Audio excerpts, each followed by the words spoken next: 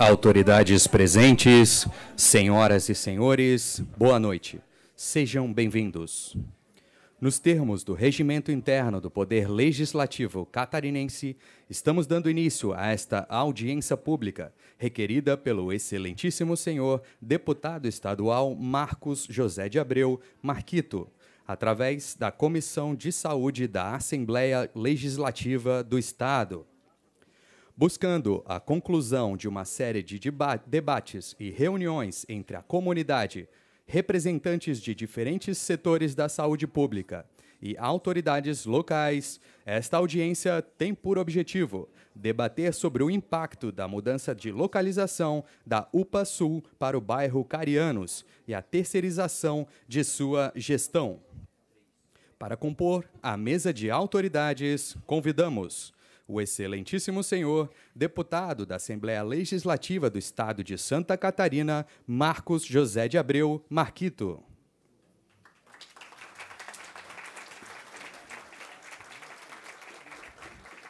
O excelentíssimo senhor promotor de justiça do Ministério Público de Santa Catarina e coordenador do Centro de Apoio Operacional da Saúde Pública, Douglas Roberto Martins.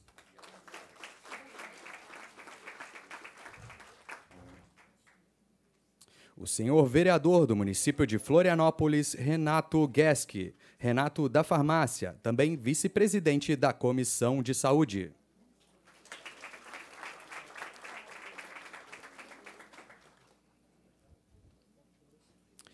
O senhor superintendente de urgência e emergência da Secretaria de Estado da Saúde, Marcos Antônio Fonseca, neste ato, representando o secretário de Estado da Saúde de Santa Catarina, Diogo Demarque Silva. E o senhor coordenador do Conselho Distrital de Saúde do Sul da Ilha, Gustavo Jubiraci Droguete Lanza.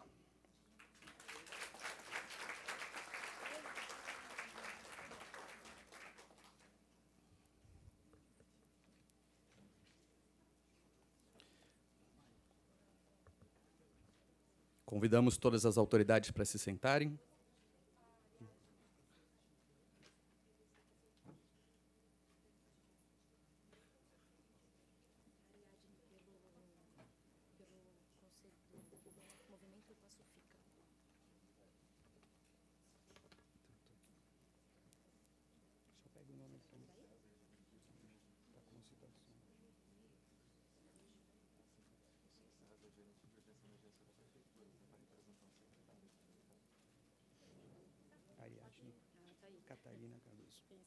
Convidamos também a senhora advogada e assessora da Manata Bem Viver, Ariadne Catarina Cardoso Teles.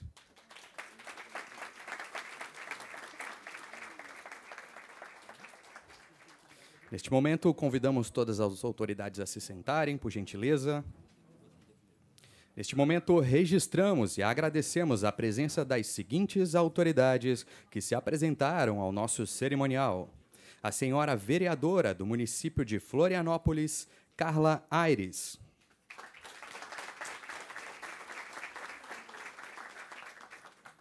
O senhor vereador do município de Florianópolis, Afrânio Tadeu Bopré. A senhora vereadora do município de Florianópolis, Tânia Ramos. O senhor diretor do Hospital Regional de São José, Davidson Queires. O senhor superintendente dos hospitais públicos do estado de Santa Catarina, Roberto Henrique Benedetti. O senhor presidente do Conselho Regional de Técnicos em Radiologia, Cleiton Mesquita Mártio. A senhora vice-presidente do Conselho Municipal de Saúde de Florianópolis, Albertina Pra da Silva. A senhora diretora do Sintesp, Marileia Gomes. A senhora diretora do Sintrazen, Silvia Miolo.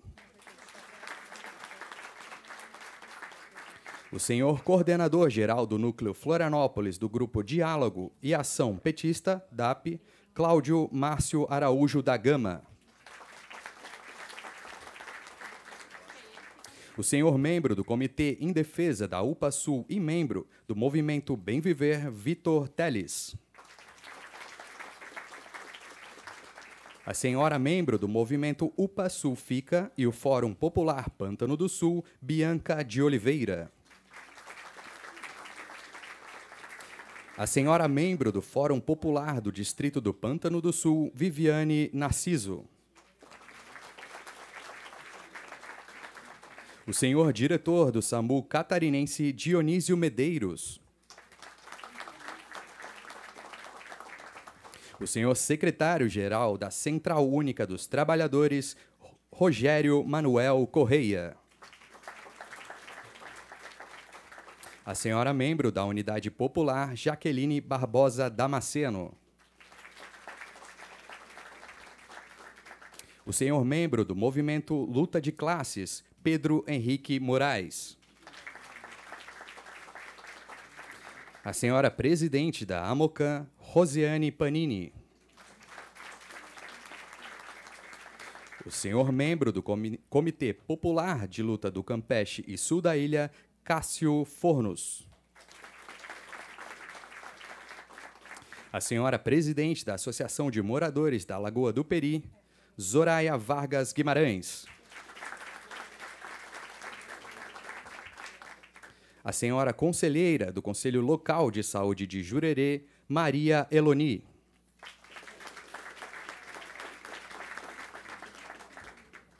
A senhora atleta paralímpica Josi do Remo Floripa.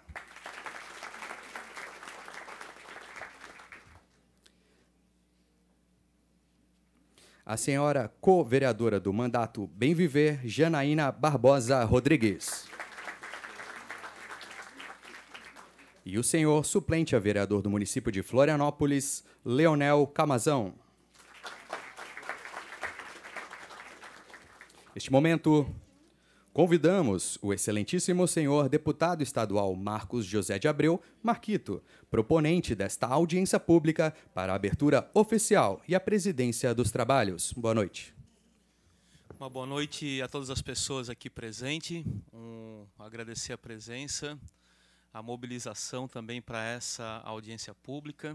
Eu quero aqui, inicialmente, fazer jus à realização da audiência, agradecendo especialmente aos membros da comissão de é, saúde, presidida pelo deputado Neudi Sareta, que é o presidente dessa comissão e que colocou em votação e aprovado por unanimidade esse requerimento, ao Vinícius, que é o secretário da comissão pela organização, especialmente aqui ao André e à Laís do nosso mandato que organizaram esse, essa mobilização e também organizaram em conjunto, né, com os, os quem nos provocou para a audiência a realização e a composição da mesa, os debates e também os convites todos. Então, quero pedir uma salva de palmas para quem organizou e para quem bota a mão na massa para realizar as coisas.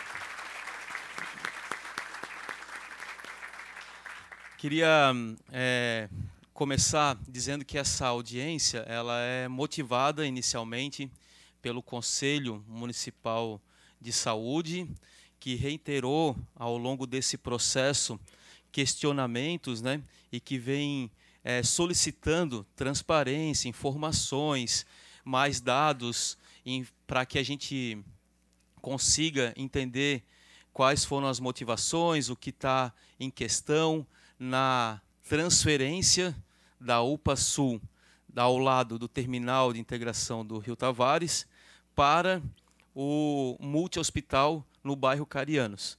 Essa é a nossa motivação. A gente foi provocado pelo Conselho e pelo movimento UPA Sul Fica, entendendo que ambos vêm acumulando, é, dentro desse processo, questionamentos, dúvidas, né? e que nós tentaremos sanar aqui nesta audiência.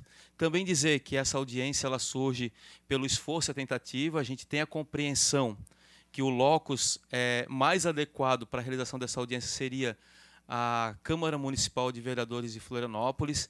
Os vereadores e vereadoras também acataram essa solicitação do Conselho e do Movimento Sul Fica, porém não conseguiram aprovação em plenário dos, das solicitações e a gente aqui é, aguardou esse processo, né, que foi é, reforçado e que não teve sucesso, e aí realizamos essa audiência nesse momento.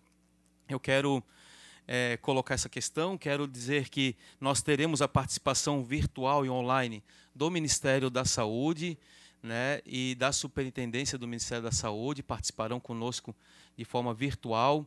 A gente conseguiu é, dialogar, conversar, entender e trazer informações muito importantes para esse processo para nós. Né? E eu quero aqui é, realmente lamentar a resposta negativa que tivemos no dia de hoje da presença da Secretaria Municipal de Saúde de Florianópolis, que seria muito importante estar conosco para sanar as dúvidas que todos e todas nós temos. De toda forma, nós é, conversei hoje com o deputado Neudi Sareta, logo à tarde que nós tivemos a resposta, e a gente se comprometeu de produzir o relatório dessa audiência pública e pessoalmente entregarmos e irmos até a Secretaria Municipal de Saúde para que ela consiga nos sanar diante daquilo que ficar em dúvida ainda e mesmo assim, é, de alguma forma, nos dar as informações oficiais que a gente precisa para que a gente informe a comunidade, informe a sociedade perante essa mudança que é de, significativa e que afeta a vida de milhares de pessoas na região do sul e leste da ilha. Né? Então, queria colocar aqui essa, essa, esse início. Eu vou dar início, gente, tá? Cada membro terá de 7 a 10 minutos para falar, depois nós abriremos as falas. Sei que tem algumas pessoas aqui, especialmente algumas autoridades, que terão a fala já garantida de início. E eu vou, então, chamar as duas entidades que foram as provocadoras dessa audiência para colocar as questões que gostaria de entender e saber da audiência e dos membros que estão na mesa. Então, eu chamo aqui a Ariadne, que nesse ato representa o movimento UPA Sul Fica, um movimento que eu observo aqui muitos membros é, participantes ativos que estão há meses, né, mobilizando a comunidade, comunicando a comunidade, reivindicando, fazendo atos, estando lá aos sábados pela manhã do, na frente da UPA, dialogando com os trabalhadores da UPA, tentando entender as informações, participando das reuniões do Conselho Local e do Conselho Municipal de Saúde, e que a, na fala da Ariadne eu também quero parabenizar a mobilização comunitária, que é sempre muito importante para qualquer ato de garantia de direitos. Então, passo a palavra para a Ariadne, de 7 a 10 minutos.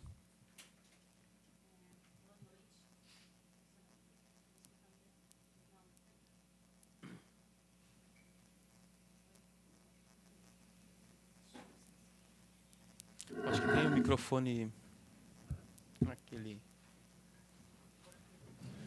O móvel está lá em cima, né? Oi. Pessoal rápido, alô, alô. Foi agora, né? É, boa noite, pessoal. Queria agradecer, principalmente, começar agradecendo a mobilização e todos os moradores do sul da ilha que há mais de um ano estão lutando para ser ouvidos em audiência pública, ouvidos pela, pelo, pelo governo municipal e que come, terminou Ainda não terminou, né? Porque a gente acredita que a, continuaremos na luta, mas a última tentativa de falar com o prefeito foi bem agressiva, né? É, eu queria muito agradecer esse, esse, espaço que a gente conseguiu aqui na LESC. Espero que a gente tenha é, resoluções que a gente busca há mais, de, há mais de um ano. Vou aqui falar sobre como foi que a gente fez essa mobilização e conseguiu é, finalmente ser pautado pela mídia hegemônica que nos esconde há um ano quase assim, né? Fala muito pouco sobre a nossa luta, mas desde o ano passado, desde quando foi que foi, foi passado para a população que a UPA Sul seria transferida do Rio Tavares, o local onde ela tem um acesso estratégico, onde os moradores conseguem chegar de vários cantos da ilha, não só do sul da ilha. Né? Por exemplo, a região da UFS, que também utiliza bastante a, a UPA Sul, a Lagoa da Conceição também. É, desde quando isso foi anunciado de forma arbitrária pelo governo municipal, é, nós se organizamos, né? Teve uma grande reunião convocada pelo DAP e que contou com a, a, presença de vários movimentos sociais e principalmente de pessoas da comunidade. É, desde então, nós nos reunimos toda semana, praticamente. É, paramos em dezembro e em janeiro, mas e, e foram raras também as exceções que fizemos online, mas geralmente presencial, do lado do Tiril, nos reuníamos e debatíamos como a gente conseguiria fazer a nossa voz ser ouvida, né? Como a população consegue dialogar com os órgãos institucionais que não escutam a população que está falando, que sabe, que mora ali, que a, a, transferência da UPA seria danosa à vida dos moradores, de todos, não importa também se você tem plano de saúde, né? Porque às vezes numa emergência a gente acaba precisando utilizar é, os primeiros atendimentos ali no, no público, né? No hospital público que se salva vida, vidas. Além disso, a gente percebeu, né, durante a nossa luta, que é, a saúde, não só a saúde de Florianópolis, né, mas como é, é um, o tema é sobre saúde, mas todos os serviços públicos têm sido atacados, né, os trabalhadores têm sido precarizados, é, numa tentativa de terceirizar os serviços, né. Então, isso também entrou é, no, na luta com a gente. A nossa luta foi unificada. É, fizemos atos na frente da UPA quase todos os meses, desde agosto até abril. E em abril a gente fez, a gente fez um plebiscito né, na cidade inteira, onde foi puxado pelo Sintrazem, mas junto com a mobilização de pessoas do sul da ilha, do Comitê UPA, UPA Sufica e principalmente também do da UPA Sul Norte, né? além de toda a, comunidade e movimentos sociais da, da, de toda Florianópolis. Né? É, nisso, a gente mobilizou 22 mil, mais de 2, 22 mil votos, onde as pessoas, em sua grande maioria, responderam que são contra as terceirizações. Né? Esse plebiscito, ele é um resultado também do Comitê UPA Sufica e também ele é uma forma de garantir que a população seja ouvida, nem que ela tenha que gritar, né? nem que ela tenha que se articular, até para fazer um plebiscito que estaria até contemplado dentro da lei orgânica, né? deveria, deveria, ser, deveria ter feito essa consulta quando parte da CONCAP foi terceirizada. É, nisso, a gente também con conseguiu na verdade, a gente tentou várias vezes esse acesso com o prefeito, as audiências públicas, como o deputado Marquito já, já falou, né? tentamos várias vezes conversas é, com vereadores da base, fomos na, na Câmara de Vereadores através de representação do movimento. Foi uma luta assim, incessante, né? mas a gente nunca deixou de alertar que aconteceriam essas coisas que vêm acontecendo agora com a inauguração. Por exemplo, é, não sei se todos viram, mas a é, viralizou o vídeo de uma mãe que ficou uma hora e meia com sua filha chorando dentro do carro, tentando chegar na UPA Sul na, nova no Carianos, né, em dia de jogo do Havaí. Isso é uma coisa que a gente vem falando desde o primeiro ato. E queremos é, passar esse relato. O Gustavo vai passar um relato mais minucioso sobre a, as diretrizes do Conselho né, Distrital, que nós nós elaboramos também foi é um o comitê Upasufic ele é puxado pelos centros de saúde também que é uma outra grande luta né? É a, o fortalecimento do centro de saúde dos centros de saúde dos conselhos de saúde e, e dos centros de saúde dos bairros também né? É, mas é isso assim a gente tá nessa luta, queremos ser ouvidos e fizemos também questionamentos para a secretária de, de saúde, entregamos mais de 10 perguntas numa reunião com as vereadoras que também conseguiram, através da articulação ali na Câmara, é, mas também não fomos, nunca, resolve, nunca recebemos as respostas no, dos nossos questionamentos. Né? E Acredito que a população tem muito a dizer, né?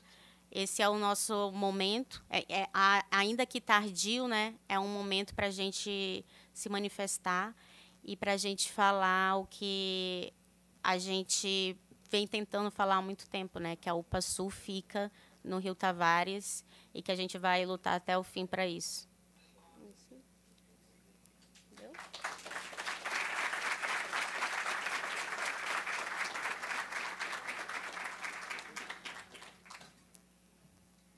Muito obrigado, Ariadne. Eu queria, antes de passar para a próxima fala, primeiro dizer que nós, nesse momento, Estamos com a presença do gerente de urgência e emergência de Florianópolis, da Secretaria Municipal de Saúde de Florianópolis, o César Anselmo Andreazzi. Eu quero convidá-lo.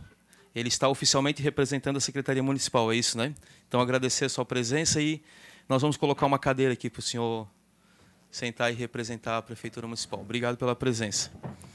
Quero dizer também que nós temos aqui, virtualmente, acompanhando a sessão a doutora Rosimari Machado, que é representante do Tribunal de Contas do Estado de Santa Catarina.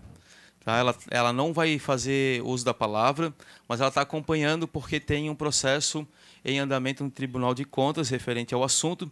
Nós também temos a presença do Felipe Augusto Reck, que é coordenador geral de urgências do Ministério da Saúde. Esse sim fará uso da palavra aqui na nossa audiência, e o Wendel é, Busato, que é superintendente substituto do Ministério da Saúde em Santa Catarina, que também está acompanhando virtualmente conosco. Tá?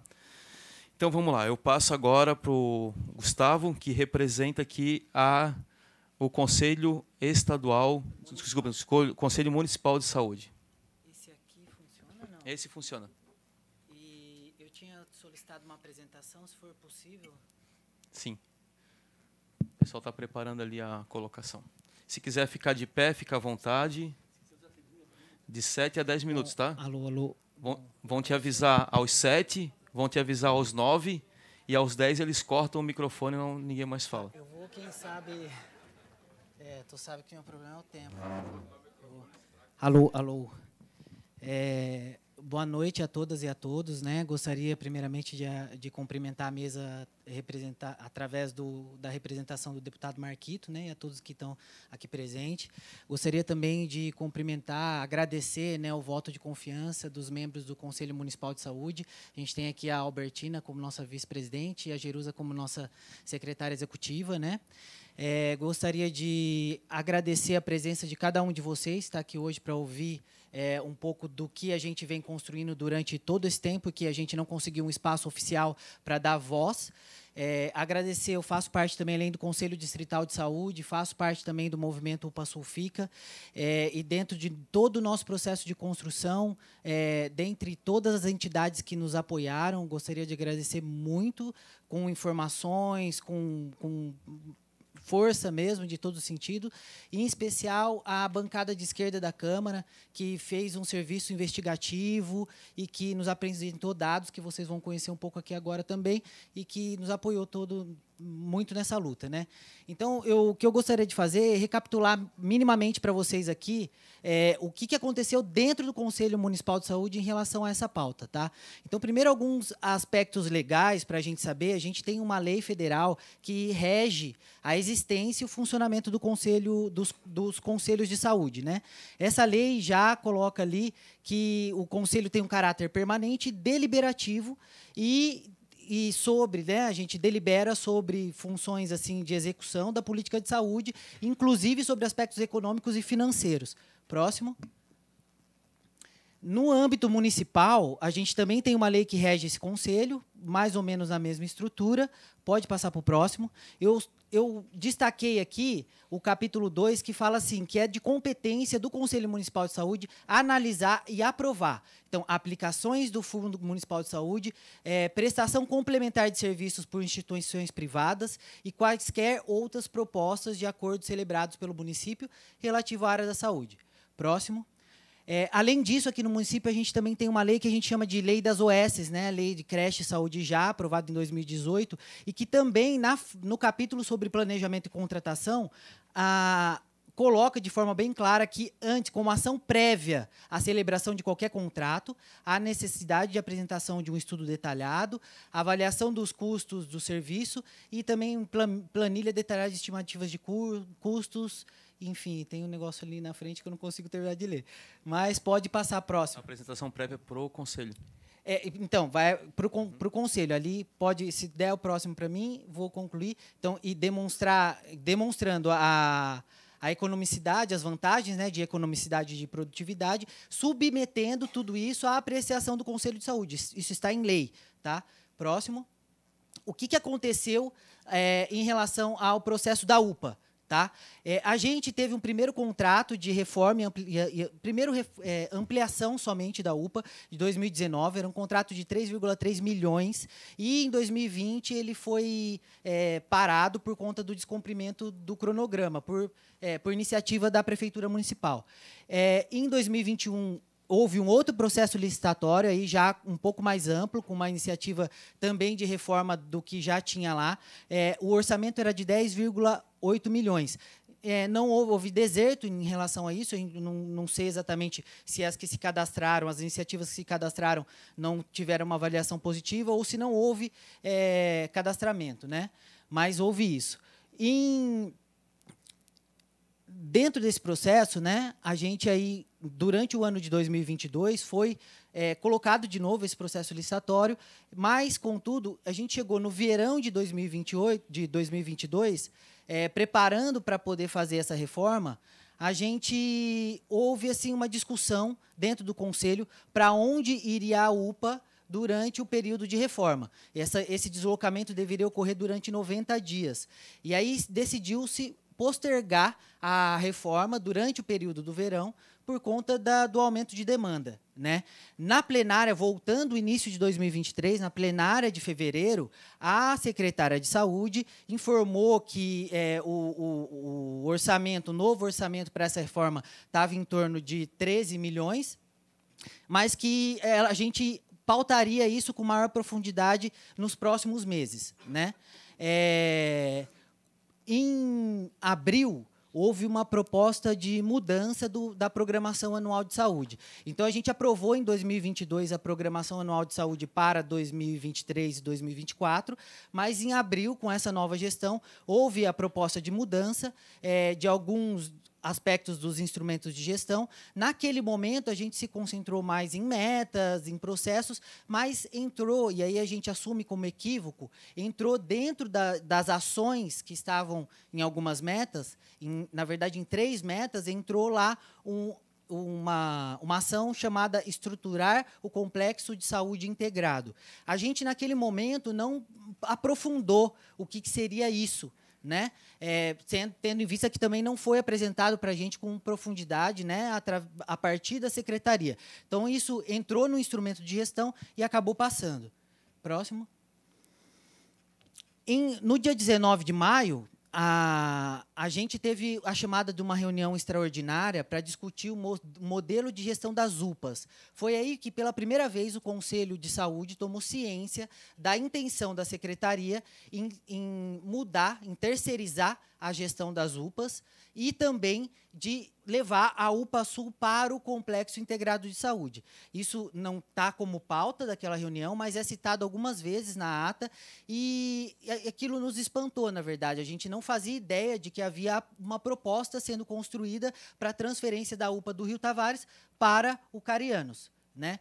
Em junho foi apresentado na plenária aí de forma então pela primeira vez de um, um pouquinho mais aprofundado, mas ainda insuficiente para que a gente pudesse tomar decisões é, tanto relativos à transferência da UPA quanto relativa à terceirização do serviço. Foi apresentado, então, uh, um novo orçamento de 17 milhões para a obra, just, tentando justificar a transferência da UPA e a inserção da UPA no projeto do complexo hospitalar. E aí se apresentou também uh, um pouco sobre o que seria esse complexo de saúde. Eu esqueci, no dia 19 de maio, foi nos apresentado, eu até verifiquei, é uma, além de algum, alguma, algumas, algum, vamos dizer assim, algumas, alguns cards, né, algumas apresentações que versavam sobre a importância da mudança de gestão, foi nos apresentado um único, uma única tabela comparativa sobre custos entre as três UPAs, a UPA Norte, a UPA Sul e a UPA Continente, que já era terceirizada. E aí, tendo em vista as diferenças de custos, eles queriam é, justificar a transferência de gestão. A gente visualizou aquilo, é, viu que aquilo era insuficiente para uma tomada de decisão, montamos uma comissão é, para avaliação desse processo.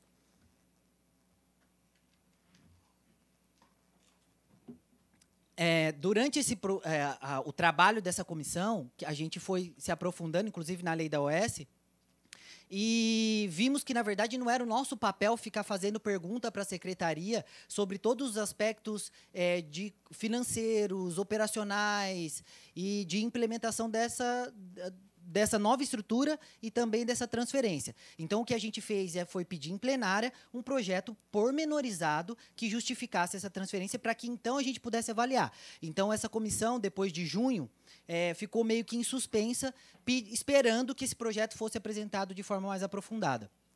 Calma, é, pode voltar. É, só para a gente ter um caminho aí do que foi acontecer, somente em agosto é que a gente teve.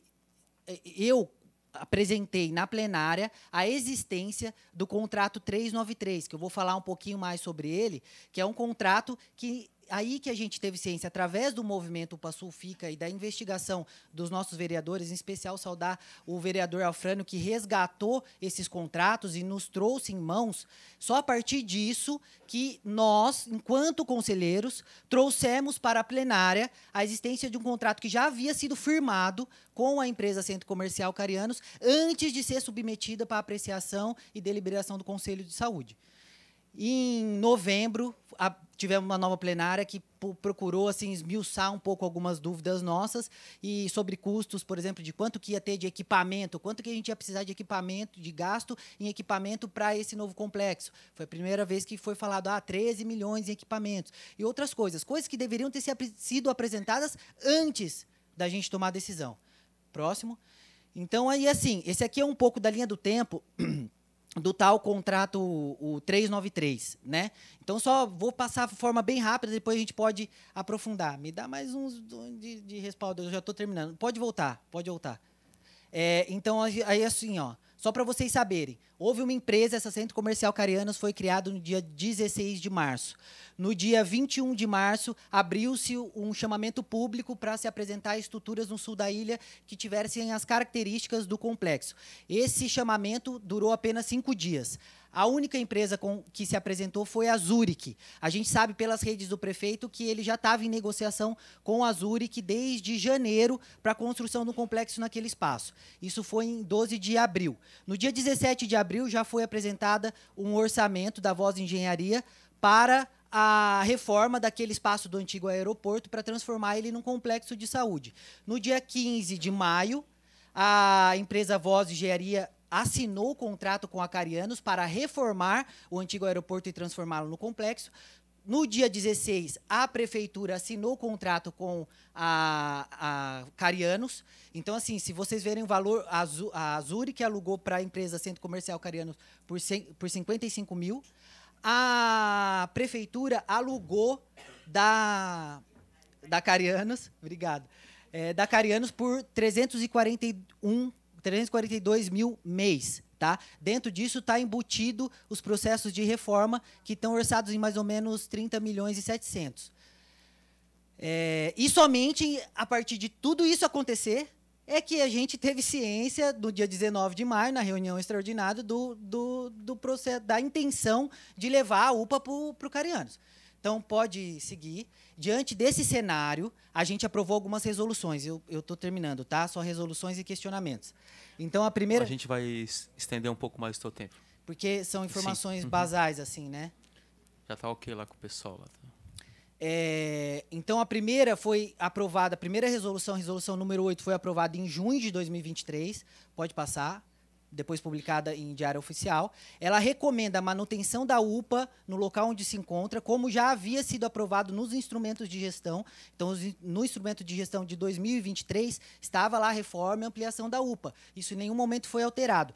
Então, a gente se sentiu como. A gente ficou indignado, porque a gente se sentiu como se tivesse sido enganado dentro de todo o processo, inseriram o complexo no, no, na programação é, anual de saúde, mas não nos informaram que isso estaria relacionado com a transferência da UPA. Né? Então, solicitamos a, a realização da obra. Próximo. A gente também solicitou a suspensão do processo de construção do complexo que estava sendo colocado no antigo aeroporto, até que a gestão municipal apresentasse estudo que indicasse necessidade, viabilidade, custos efetivos daquela estrutura, detalhamento de todos os itens estruturais, operacionais e orçamentários.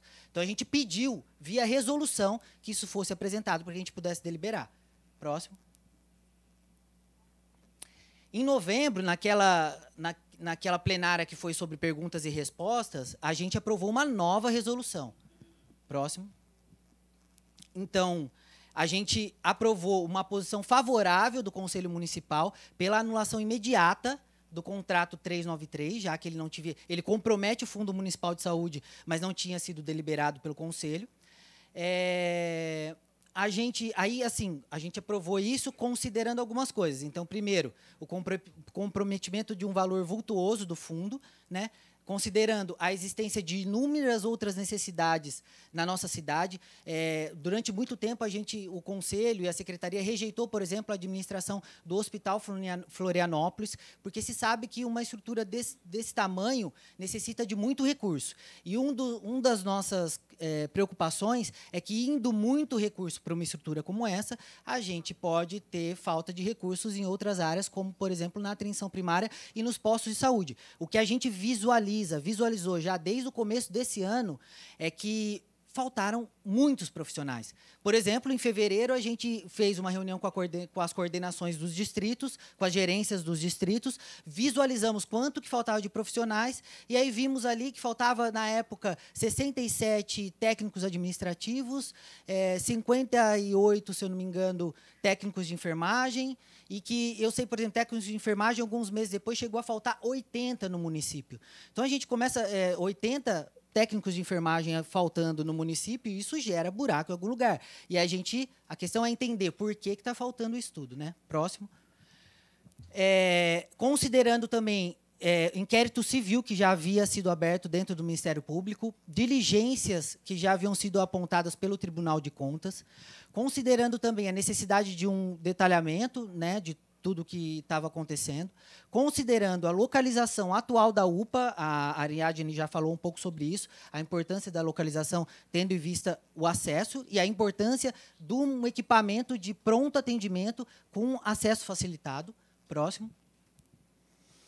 Então, a gente resolveu aprovar, primeiro, a anulação do contrato. Segundo, é, recomendamos que a, que a gestão municipal viabilize os serviços que estão que estão sendo agora colocados no complexo em outras estruturas públicas, né? E falamos de novo da reforma e da ampliação da UPA, sugerimos a construção do CAPES no norte da ilha, como já havia sido com, é, aprovado na 11ª Conferência Municipal de Saúde, e também sugerimos que fosse reassumido o diálogo com a, com a Secretaria Estadual, para então assumir a gestão do Hospital Florianópolis, onde poderia ser viabilizada toda essa estrutura de pequenas e médias cirurgias e exames de diagnóstico que estão sendo colocados no Hospital Dia. Ou seja, apontamos soluções para aquilo que não nos foi perguntado antes para fazer. Soluções menos onerosas para o nosso município.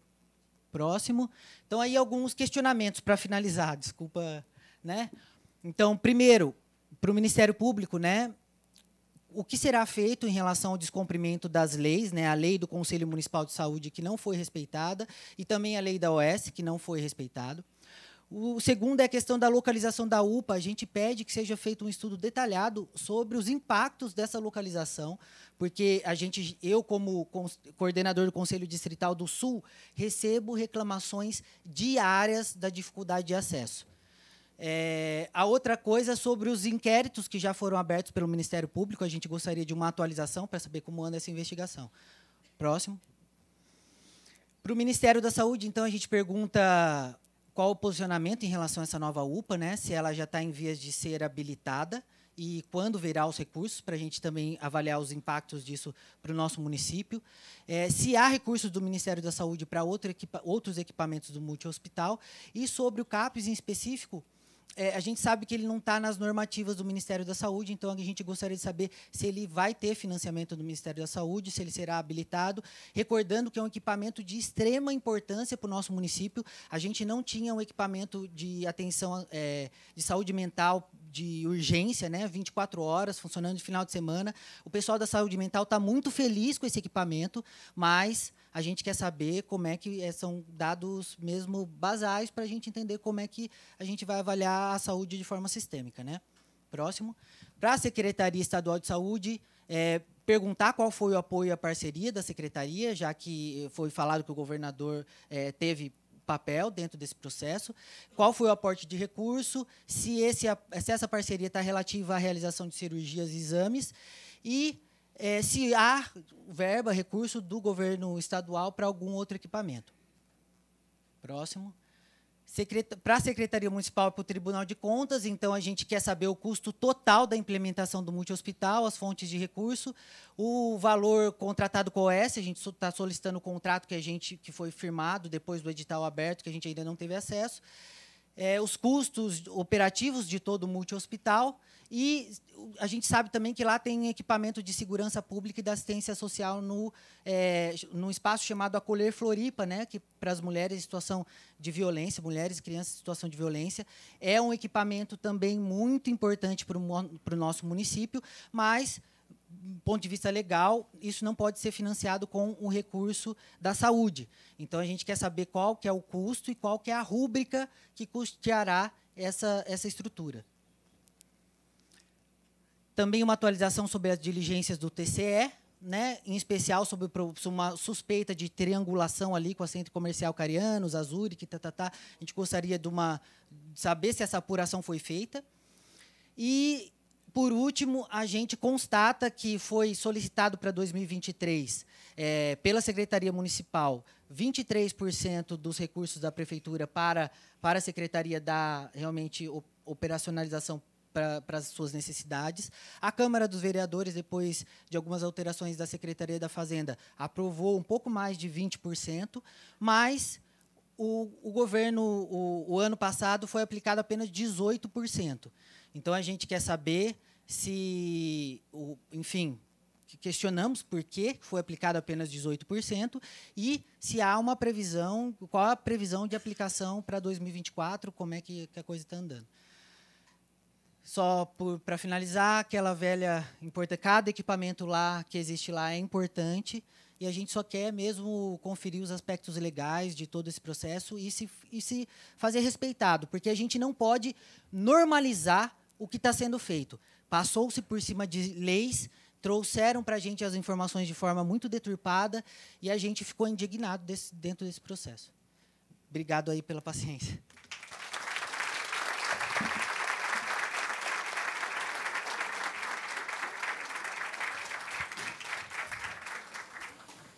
Muito obrigado, Gustavo, meu irmão, pela, pela relevância também, pela organização da apresentação, tranquilo de estender o tempo.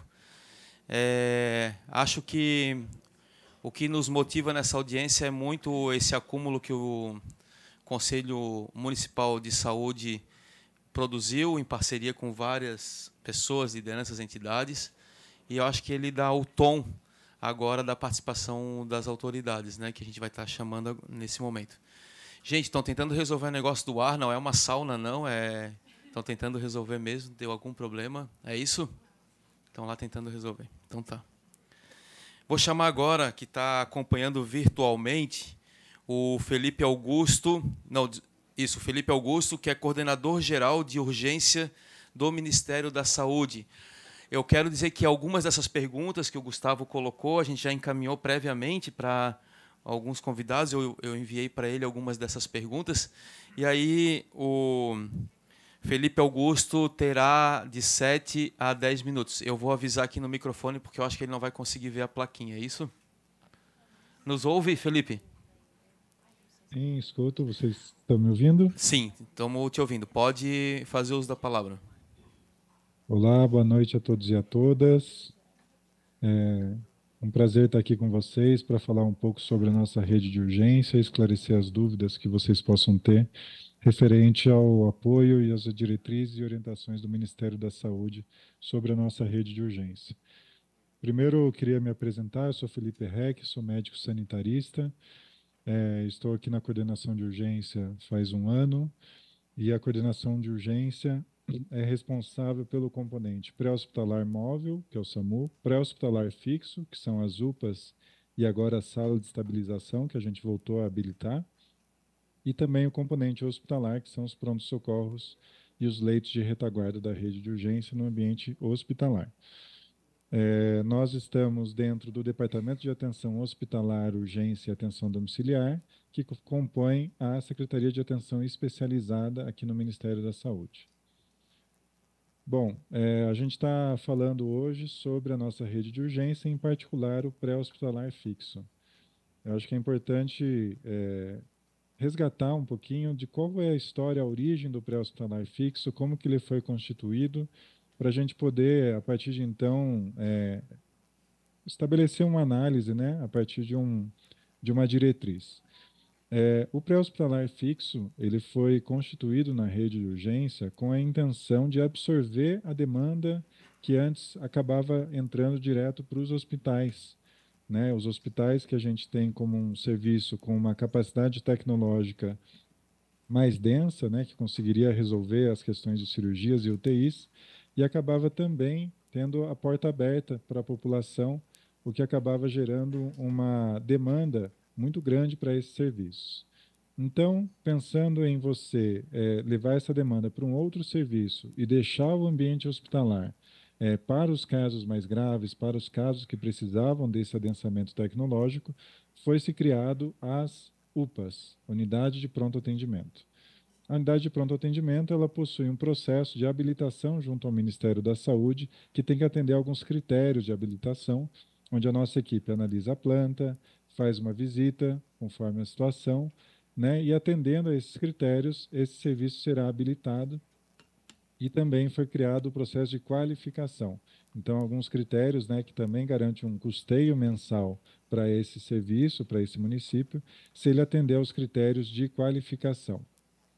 É, bom, é, a, pela nossa análise aqui de banco de dados, eu vejo que Florianópolis possui três UPAs, sendo uma no continente duas na ilha, né, uma no sul da ilha e uma no norte da ilha.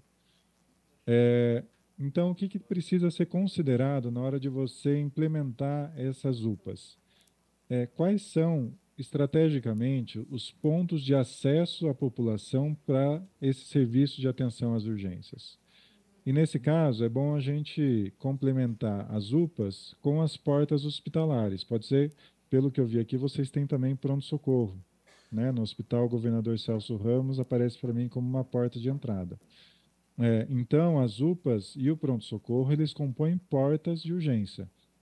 E a localização dessas portas precisa ser em locais que garantam o acesso da população é, a esse ponto de acesso é, de urgência.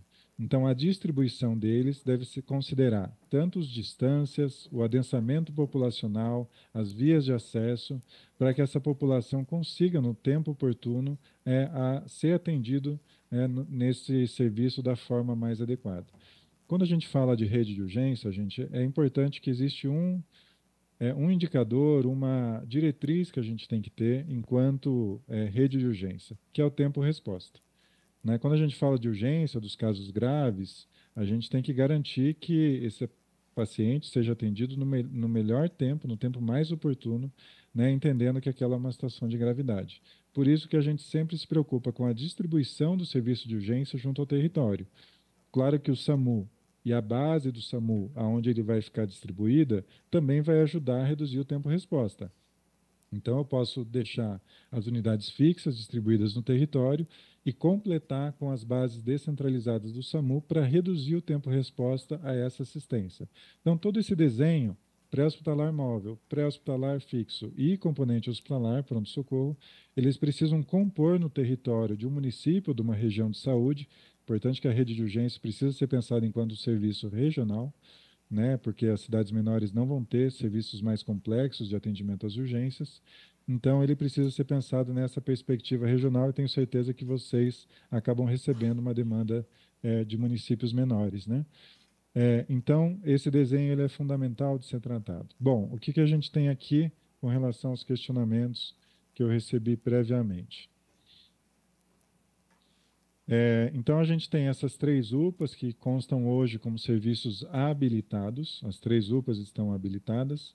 No entanto, uma das UPAs perdeu seu, sua qualificação em dezembro de 2023, né, que existe um, a, qualifica, a, a habilitação ela é permanente. A gente só desabilita ou suspende a habilitação caso haja alguma irregularidade identificada. No entanto, a qualificação precisa ser renovada a cada três anos. Então, o ente precisa mandar os documentos exigidos para o Ministério da Saúde. Estando ok a documentação, a produção e todos os critérios que a gente olha, a gente mantém essa qualificação. E aí, nesse caso, por algum motivo, houve essa perda da qualificação é, da UPA Norte da ilha. No entanto, a UPA Sul da ilha foi renovada a qualificação até dezembro de 2026 e a UPA Continente ainda está válida a qualificação até novembro de 2024. Então, essa UPA é importante que o ente já né, entre com os pedidos de, de renovação de qualificação a tempo para não perder essa qualificação. É, então, essa situação das três UPAs né, é, estão habilitadas todas e duas estão qualificadas. O repasse do recurso, ela depende do tamanho da UPA. Claro que uma UPA que vai ficar um médico na porta, uma UPA que vai ficar quatro ou cinco médicos, o custo dela é diferente.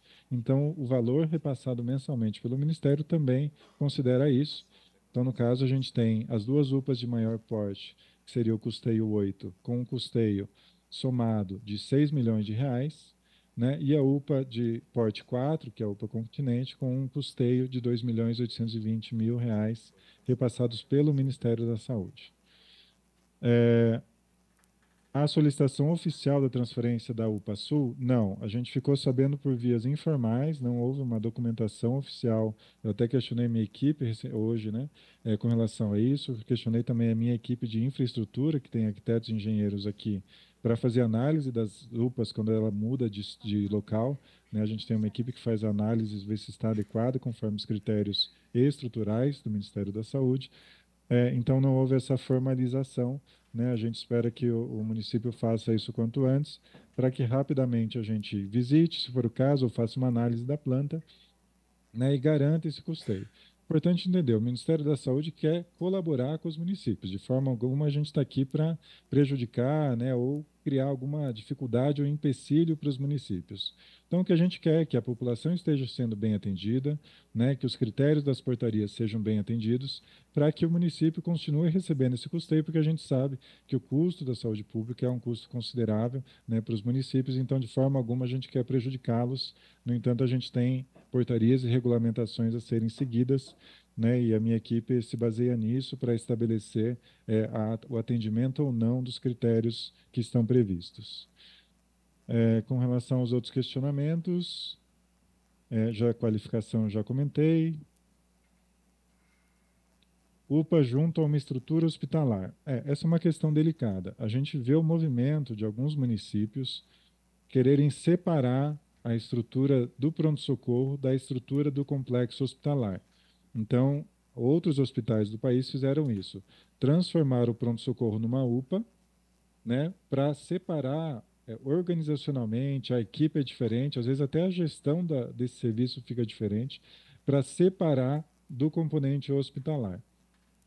Tecnicamente, não é um, um, um movimento ruim, porque realmente quando você tem o pronto-socorro misturado com o hospital, isso acaba gerando alguns transtornos de gestão. Eu já fui gestor né, de serviço de saúde, então entendo que esse movimento até visa qualificar o serviço né, para dar mais agilidade e qualidade para assistência à população. Então, esse movimento em si é, não há uma irregularidade nele de forma alguma, né, e pode inclusive ter alguns benefícios.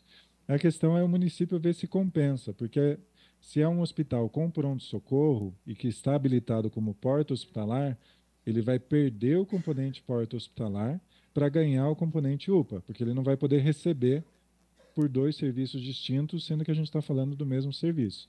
A gente teve recentemente um, um, um município que pediu para fazer isso, transformar o pronto-socorro em UPA. Quando a gente falou que ele ia perder o componente pronto-socorro para ganhar o de UPA, ele voltou atrás e quis manter o componente pronto-socorro, né, que é o componente de porta hospitalar. É, então, aí cada município precisa analisar bem qual é a sua decisão, se compensa ou não seguir nesse movimento. Mas o movimento em si, de ter uma UPA né, dentro de um hospital que atenda demanda espontânea, mas que tem uma dinâmica separada, uma gestão é, é, separada para não misturar né, a questão das equipes e tudo mais, isso por si só não é uma questão é, positiva ou negativa que a gente considera aqui. Né? A questão é a qualidade da assistência e a organização do serviço se atende aos pré-requisitos. É, então, com relação ao posicionamento nosso, é, a gente precisa analisar a planta, né, para ver se atende todos os pré-requisitos. A gente precisa ver como é que está a questão, claro, do acesso, é uma questão importante para a gente considerar. Quais são as ofertas tecnológicas que as UPAs, que essa UPA no caso está oferecendo, né? Então, por exemplo, se tem um raio-x, se tem oferta é, ortopédica ou não, odontológica ou não, tudo isso muda de UPA para UPA. Então, a gente vai precisar analisar para ter um posicionamento é, técnico a respeito. Tem recurso do Ministério para funcionamento multi-hospital? Não consigo dizer, porque, como eu falei, a gente cuida da parte de urgência. Então, é, como isso envolve outros setores aqui do Ministério, eu não vou conseguir dizer se existe um recurso para esse desenho. Né? É, cada habilitação, e principalmente de média e alta complexidade, tem habilitações fragmentadas, separadas. Então, se oferece um exame, se oferece uma medicação, às vezes, tudo isso impacta em uma diferente habilitação aqui no Ministério da Saúde.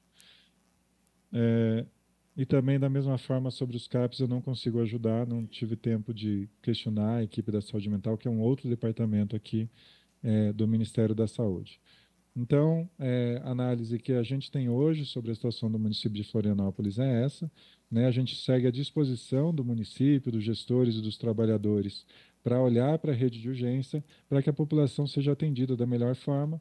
E, nesse caso, claro que a gente considera é, a questão do tempo-resposta como um critério fundamental para a urgência. Né? Então, a gente segue aqui à disposição. Espero que eu tenha conseguido atender aos questionamentos e estou aqui à disposição para outros questionamentos.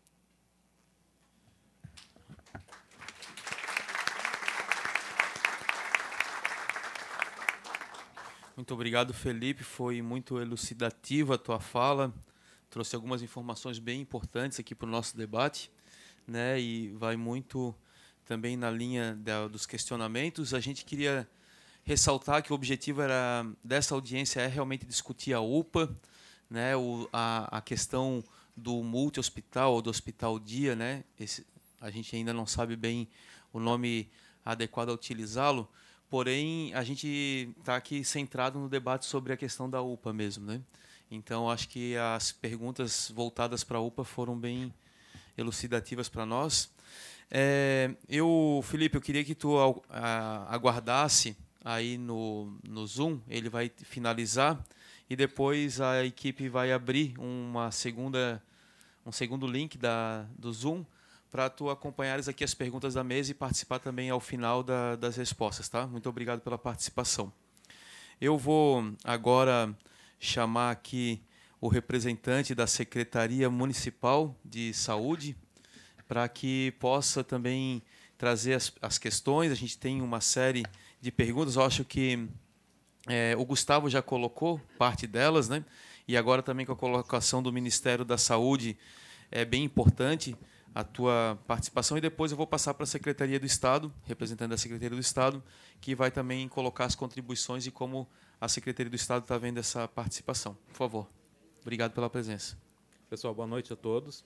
É, meu nome é César, sou enfermeiro da rede, sou enfermeiro é, estatutário, efetivo da, da rede. Fui nomeado em maio para esse cargo da gerência de urgência e emergência. Então, assim como vocês, assim, peguei boa parte desse processo já em andamento, então, a partir de agora, a intenção é tentar é, fazer uma transição da melhor forma possível dessas alterações ali do, dos serviços de saúde, com o menor impacto possível para a população. Até gostaria de aproveitar aqui a oportunidade só para é, corrigir ali uma informação até que Felipe do Ministério da Saúde passou sobre a perda do recurso da, da UPA Norte, que teria uma proposta que venceu em dezembro, porém ela foi substituída no dia 21 de janeiro pela proposta é, número é, 198.787, que é a proposta para requalificação da UPA Norte. Então, eu acredito que teve só essa divergência na informação, porque tinha uma proposta realmente vencida, que por orientação do Ministério da Saúde era para fazer uma nova e essa outra perderia validade automaticamente. E outra coisa também só que eu gostaria de, de acrescentar é que o tempo de atendimento das UPAs está sendo monitorado é, em cinco horários durante o dia, justamente para ver a qualidade do atendimento que está sendo prestado nas três UPAs. Então, nós temos ali um monitoramento às 6 da manhã, às 9, às 13, às 16 e às 21 horas, onde todos os coordenadores passam ali o tempo de atendimento para cada classificação de risco, o tempo de espera que tem ali para passar para a classificação de risco com o enfermeiro e também é, tem ali as informações da produtividade médica, quanto que cada profissional atendeu ali por período. Então a gente faz justamente esse monitoramento para acompanhar ali a, a, efetividade do atendimento, o tempo de espera e, se for necessário, também solicitar algum incremento ali para as empresas para conseguir melhorar o tempo de resposta. E fico à disposição para atender ali as demais é, questionamentos que tiver com relação ali à rede de urgência e emergência. Lembrando que a minha gerência fica responsável, então, pela, pelas três UPAs, UPA Continente, UPA Norte e também a Sul, e também o, as quatro unidades de suporte básico do SAMU do município. Queria, se me permita, né? Eu queria ver se tu conseguirias ajudar a gente a responder algumas perguntas aqui, né? É, a primeira delas é o que aconteceu do ponto de vista da gestão com a UPA Sul do Rio Tavares, né? E o que significa essa transferência para o multi-hospital. É, também acho que é importante responder a todos e todas é, o, essa tomada de decisão. O que levou a tomar a decisão é, superando ou não garantindo aquilo que está previsto na lei do Conselho Municipal e também é, qual foram ah, os indicadores, os instrumentos é, utilizados para definir essa transferência da UPA Sul do Rio Tavares para o multi-hospital. Né? Se tu puder ajudar, eu tenho, tenho outras aqui também, mas eu acho que a gente pode fazer isso aqui. Então, assim, o principal motivo da, da transferência da, da UPA Sul do Rio Tavares para Carianos é justamente ali a estrutura física do, do prédio, que está bem comprometida. Assim, há muito tempo é tentado essa reforma e não foi possível, ali como bem o Gustavo apresentou na, na, na, na, introdução dele ali, que foi duas tentativas ali de reforma, mas sem sucesso. E por ser um, um, um equipamento de saúde que fica aberto 24 horas, inviabiliza de muitas empresas fazerem esse tipo de reforma. Então, essa mudança para o prédio ali do, do aeroporto é, vai favorecer a reforma desse prédio para futuramente ver qual vai ser o equipamento de saúde que vai ser instalado naquele local. Certo. E, e só assim a gente vai. A, gente só vai pedir aqui, gente, para. A gente vai fazer as perguntas, depois vai abrir um espaço, tá? Para as falas, tá bom? É, por, ainda assim, como é que foram a, a tomar decisão? Ela foi a partir de qual indicador e qual foi esse é, essa posição da gestão de não é, fazer aquilo que está previsto na lei do, do conselho, né? Então, com relação à tomada de decisão, o porquê seria transferido lá para Carianos, é uma decisão que foi da, da, administração, tanto da secretaria quanto da prefeitura. E como eu comentei, como eu assumi a gerência de urgência e emergência no mês de maio, eu não participei desse processo. Então, seria interessante mandar esse encaminhamento para a secretaria para responder com mais detalhes. É, eu acho que a gente a gente vai abrir esse tempo, vai ter outras falas aqui, tá? A gente vai passar mas eu acho que é importante ouvir, por fim, por fim, a UPA Sul, a gente não sabe se ela está funcionando parcialmente, não parcialmente, se ela está no hospital multi-hospital, se ela está parte lá, inclusive com relatos diários, inclusive como conselheiros, né, tem recebido essas, essas angústias da população. Eu queria que tu explicasse um pouco para nós, por favor, como é que está esse funcionamento. Assim, a UPA Sul, é, atualmente lá no Carianos, ela tem ali a estrutura completa, que está sendo atendida então com médico clínico, o pediatra, tem também o atendimento de pequenas cirurgias, radiologia e odontologia. Então, todo atendimento que é previsto para uma, uma UPA porte 3, é, nível 8, está sendo atendido, então, no prédio atual da Carianos.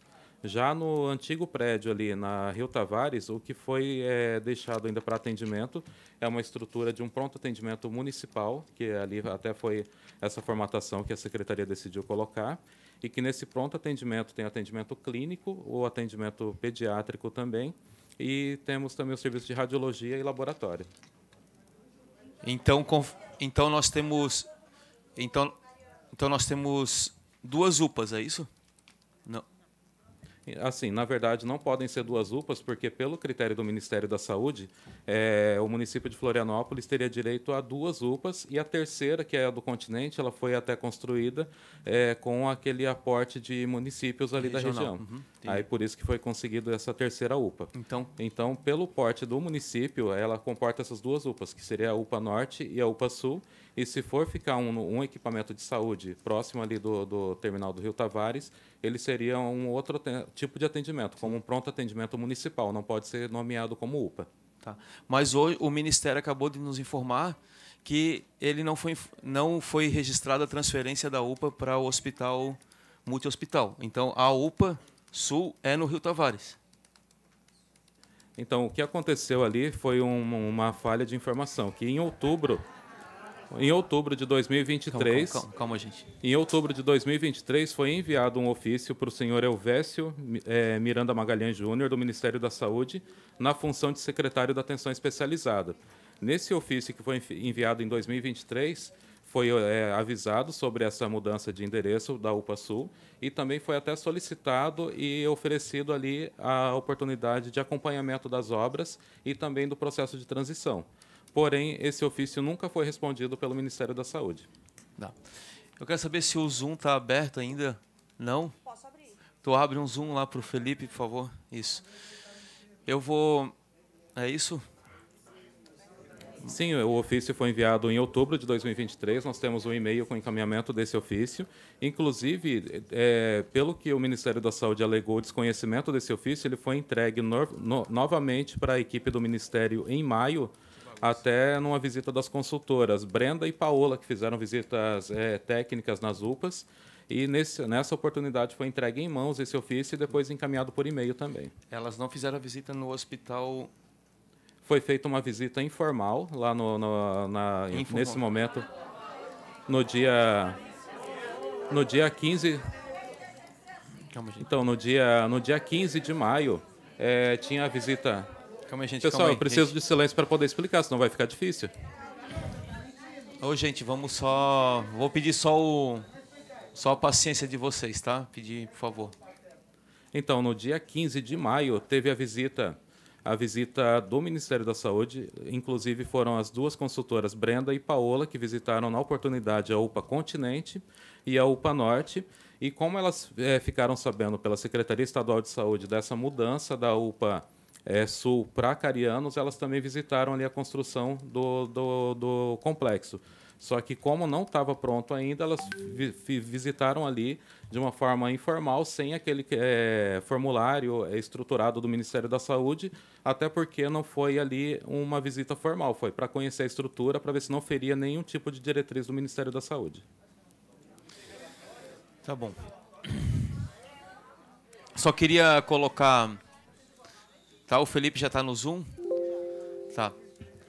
É, gente, eu só queria pedir aqui a paciência de vocês, porque a audiência ela tem como objetivo também sanar as dúvidas. É isso. A gente trouxe aqui uma, uma série de questões e a gente está começando a compreender um pouco né, o fio da meada, especialmente porque essas informações não chegaram até o Conselho Municipal de Saúde. Então, o conselho não, não sabia de todo esse procedimento, né? Que foi. Então tá, eu. César, mais alguma coisa? Não, não. A princípio, dos questionamentos levantados foram esses. Tá. Eu não sei se o Felipe conseguiu acompanhar, mas to... veio duas informações, sim, sim. Felipe. Uma uhum. é sobre a, a UPA Norte, que ela foi reclassificada, é isso? Recu... Assim, só para explicar ali para o Felipe também o que foi, aconteceu, que a, tanto a Brenda quanto a Paola, quando fizeram a visita, elas levantaram essa mesma questão, dizendo que ela não estava mais com a qualificação em dia. Mas aí, mostrando para elas ali que tinha uma proposta nova em vigência, é, que substituiria a proposta anterior da, da, dessa questão da qualificação. Então, até a proposta atual que está válida em análise no Ministério da Saúde é a 198.787 que é a que está aguardando ali a definição para manutenção da, da qualificação. E pelo aporte financeiro não foi perdido essa qualificação, continua vindo o aporte de 250 mil mensal. Tá.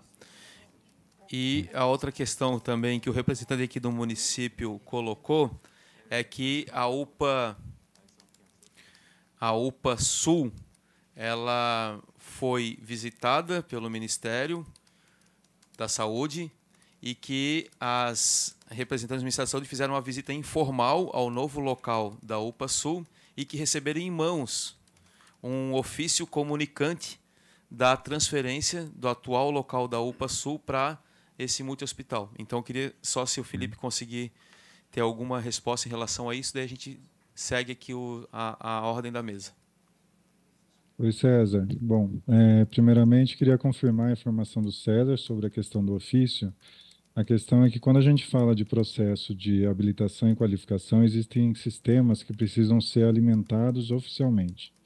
Né? Então, é, realmente o ofício foi enviado e provavelmente a equipe foi informada sobre esses processos que deveriam ser alimentados para que a gente oficialmente analisasse a proposta, analisasse a planta e desse seguimento né, para essa questão da mudança de endereço.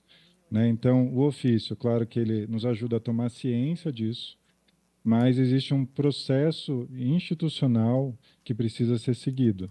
Né? E aí é esse processo que a minha equipe não encontrou aqui é, a, a instituído né, aqui dentro para que a gente pudesse dar o segmento oficial para isso.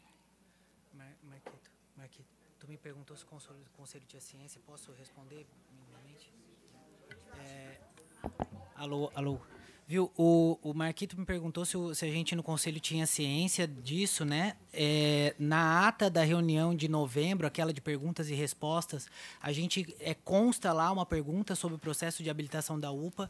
É, se eu não me engano, foi a subsecretária Talita que respondeu que havia se comunicado com o Ministério da Saúde, provavelmente esse ofício, né? Então isso uh, sincroniza com o que está sendo dito aqui, mas garantiu de que a transparência do processo estava ocorrendo e que a habilitação da nova UPA ia acontecer da, da maneira mais rápida possível. Eu confesso que eu ainda não entendi o que é que está habilitado lá no sul da ilha. Se é o Rio Tavares ou se é a nova UPA e como é que, que se dão esses recursos, enfim, eu ainda estou com uma confusão, mas é, segundo a Talita teria uma, um, uma comunicação com o Ministério. Aí eu não sei. Tá, o que nós, o que nós acabamos de saber é que o processo oficial dentro do sistema não aconteceu. É isso. É isso. Então, o Ministério tem razão em dizer que não está habilitado e não está é, reconhecido. O que está reconhecido e habilitado é a UPA Sul no Rio Tavares. Então tá, isso. Então... Tá, eu queria.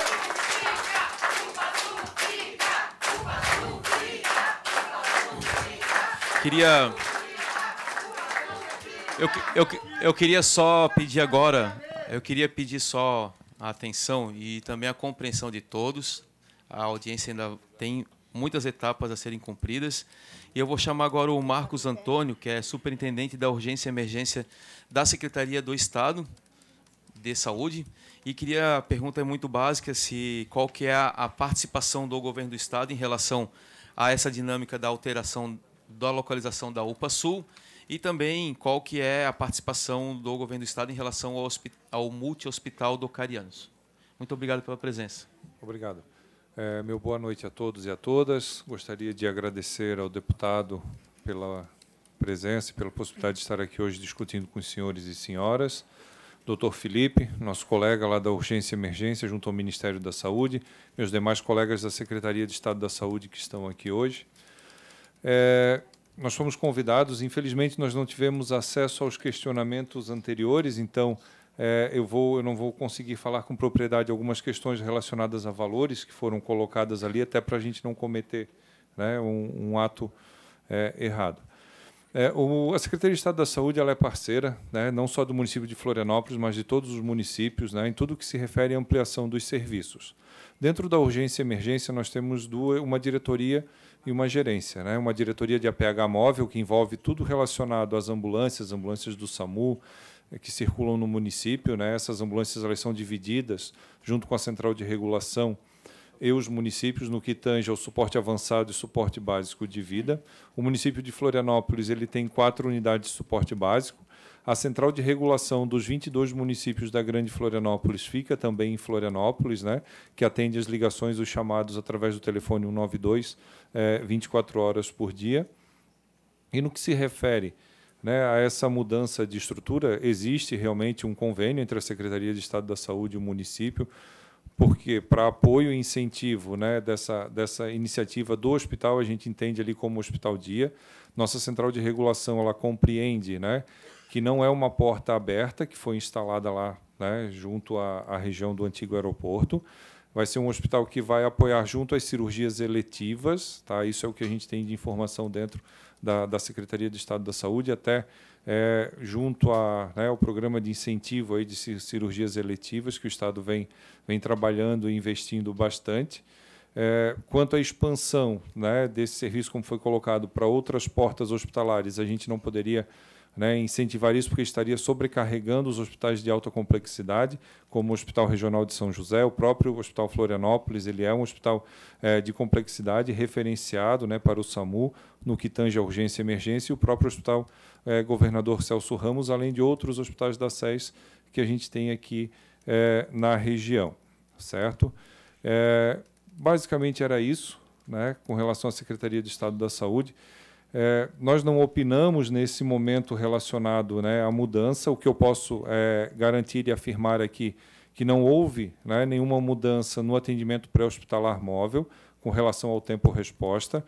Nossas unidades de suporte avançado elas se mantêm, uma na região de Coqueiros. Nós temos o suporte avançado ali é, na região do sul da ilha com serviço aeromédico e uma unidade na SC-401 que cobrem aqui a Grande Florianópolis, além da unidade de São José e Palhoça também, que prestam esse apoio quando necessário. Era isso. Muito obrigado, Marcos. Eu queria só fazer uma pergunta rápida, que é, hoje, qual que é o protocolo quando para enviar alguém acidentado, por exemplo, ou alguém em emergência, qual que é o protocolo? Ir até o Rio Tavares ou ir até a Eucarianos? Bom, é, isso compete ao médico regulador dentro da central, ele vai avaliar essa, essa logística né, e a disponibilidade. Geralmente as UPAs elas não recebem pacientes né, de alta complexidade. Esses pacientes eles são encaminhados já diretamente né, para os leitos é, hospitalares da alta complexidade. As unidades de suporte básico que têm esse contato mais frequente com a UPA. As unidades de suporte avançado geralmente elas prestam apoio para a remoção do doente mais grave para o hospital de retaguarda. Então hoje é, o protocolo continua o mesmo leva até o Rio Tavares quando, quando é necessário, quando o encaminhamento é para ir até a UPA Sul. Sim, a gente já fez essa modificação dentro da central de regulação. Os médicos estão cientes, né? Quando uhum. da região ali ele avalia né, a necessidade de deslocamento, pode ser encaminhado para a UPA Norte ou UPA Sul, dependendo do caso. Isso. Então continua. A gente mantém a denominação de UPA Sul. UPA Sul no Rio Tavares. Sim. Não na no Carianos. Não. Então tá, obrigado. Eu quero Agradecer, quero, agra, quero agradecer, quero, quero agradecer, Marcos, a presença.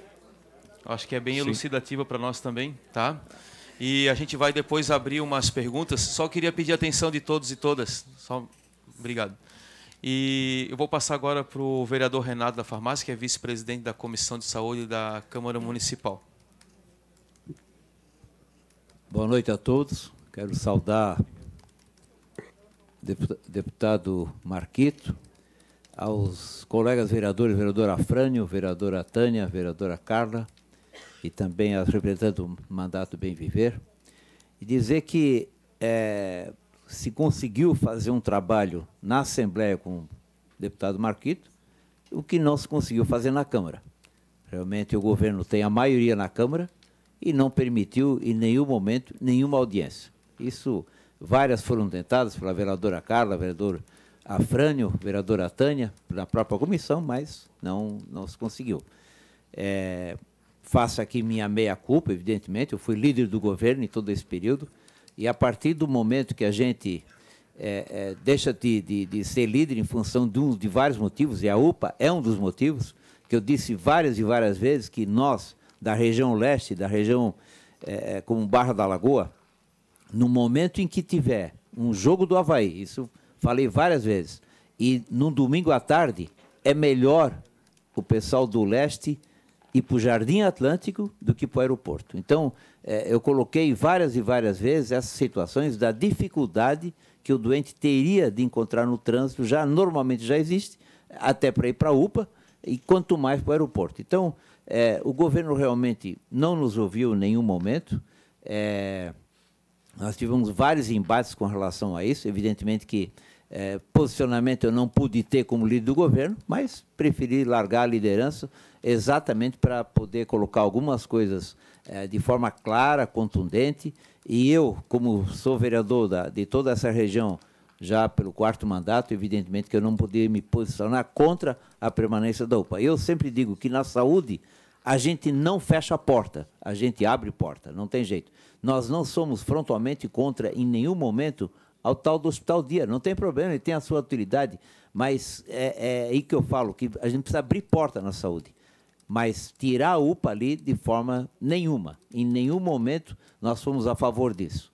Então eu quero aqui colocar, dentro do que a gente puder, com o vereador Afrani, vereadora Carla, vereadora Tânia, o que a gente puder encaminhar a, a nível de Câmara Municipal é muito pouco, mas nós podemos fazer os requerimentos de questionamento, podemos fazer de uma forma até conjunta, do que, que a, a prefeitura pode nos responder que a gente pode trazer para o processo.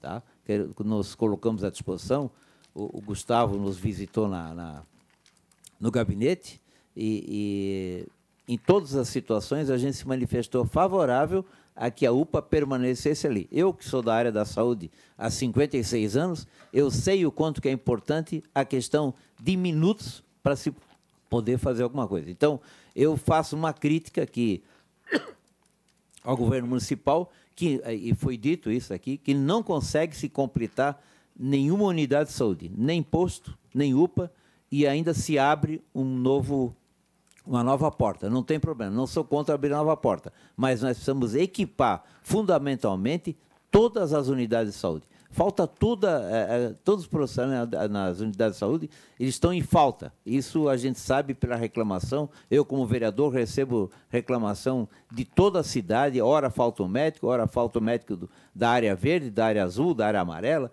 do número ímpar, do número... Toda hora tem o médico faltando. Faltam enfermeiras, faltam até pessoas na questão administrativa do, do centro de saúde. Tanto é que a gente praticamente não vê mais agentes de saúde na rua, elas estão em desvio de função dentro do centro de saúde, também é um erro, e, e, e faz com que as pessoas tenham pouco esclarecimento. E uma dessas causas de pouco esclarecimento é a baixa vacinação que está tendo, a baixa imunização que a gente está tendo na cidade. Porque o agente de saúde, que ele tem um, uma fundamental importância de ir na, nas casas das pessoas, mostrar a importância da, da imunização, essas pessoas praticamente não estão mais na estrada. Então, queremos nos colocar à disposição, tanto na Comissão de Saúde, que é minha companheira vereadora Carla, a vereadora Tânia também faz parte da Comissão de Saúde, e o vereador Afrânio no plenário. Tá?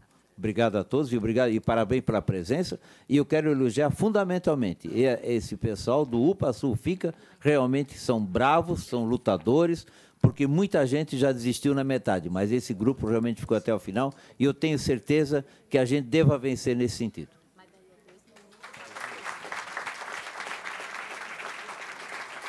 Obrigado, muito obrigado, vereador Renato. Eu quero agora convidar aqui o doutor Douglas Roberto Martins, que é promotor de justiça do Ministério Público de Santa Catarina e coordenador do Centro de Apoio Operacional de saúde pública e altamente competente na sua atribuição e por isso agradecer a sua presença nessa noite e essa audiência bem importante. Obrigado.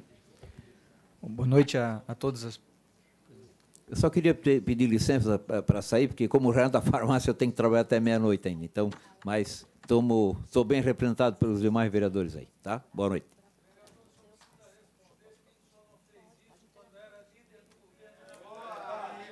Eu respondo sim.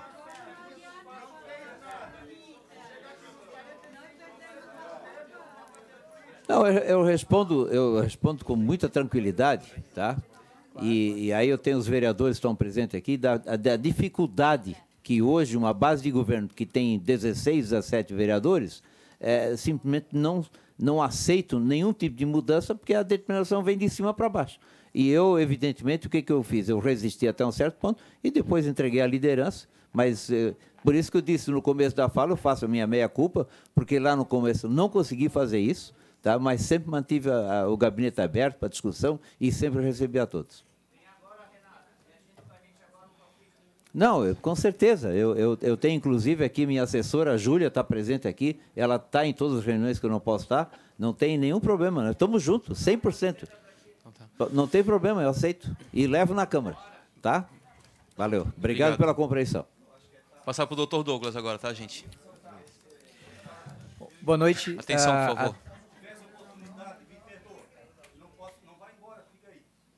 vou pedir pela ordem. É, pedir pela ordem. Chance de posicionar e votar, infelizmente. Essa luta não é mais sua.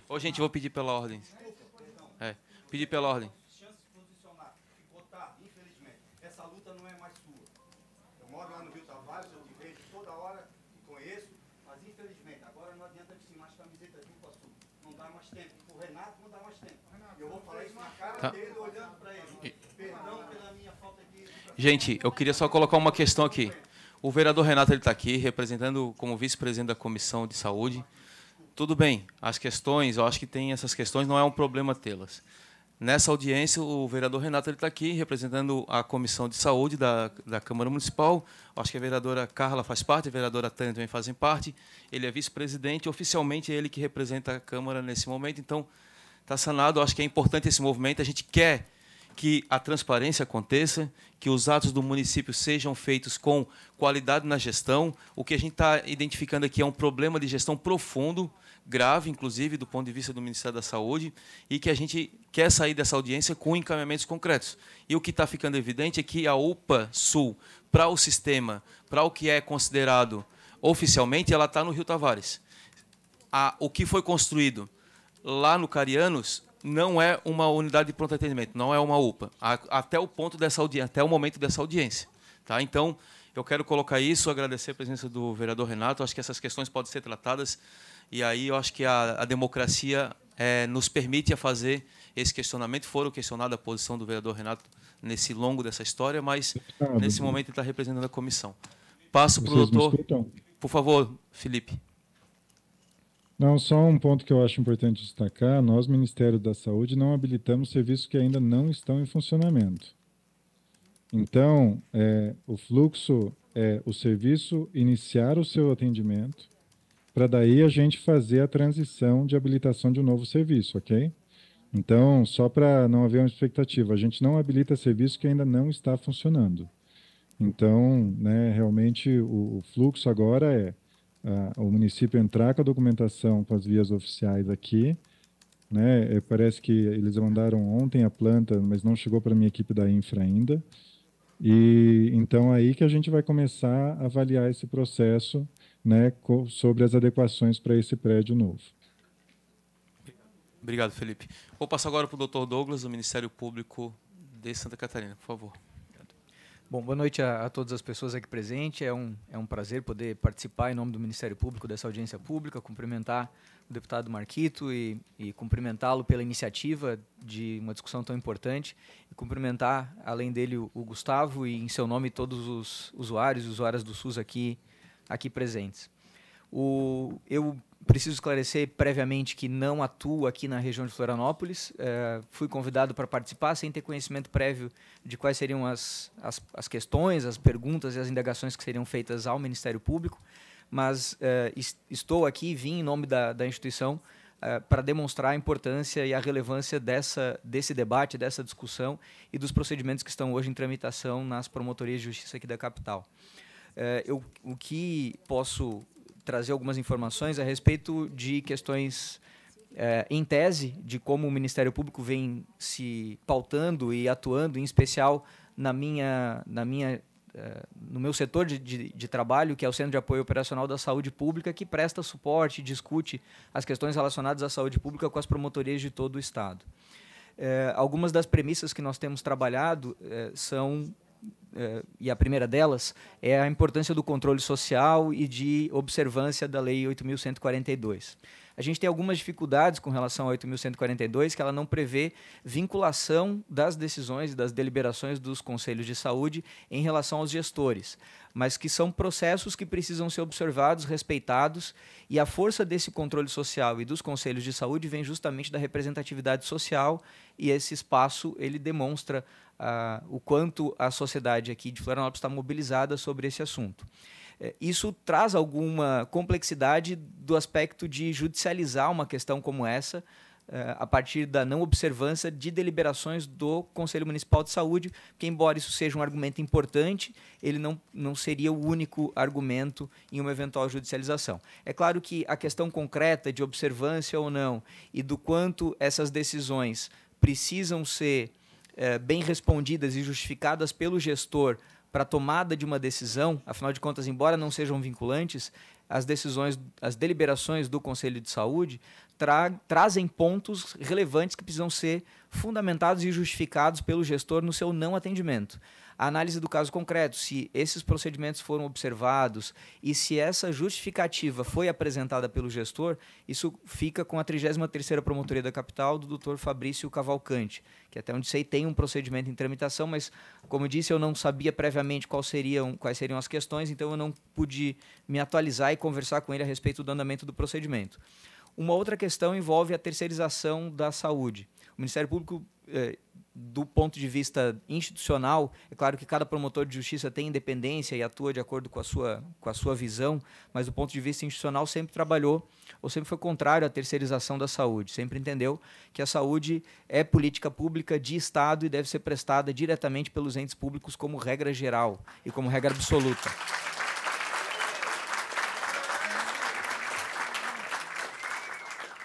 Porém, eh, infelizmente, as decisões judiciais não vêm eh, caminhando nesse sentido. Então, as decisões aqui do Tribunal de Justiça de Santa Catarina, inclusive do Supremo Tribunal Federal, a partir da Lei 9.637, que é a Lei das OS, vem entendido pela possibilidade dessa terceirização é, e, e, a análise jurídica dessa, desses processos acaba se restringindo à observância da 9.637.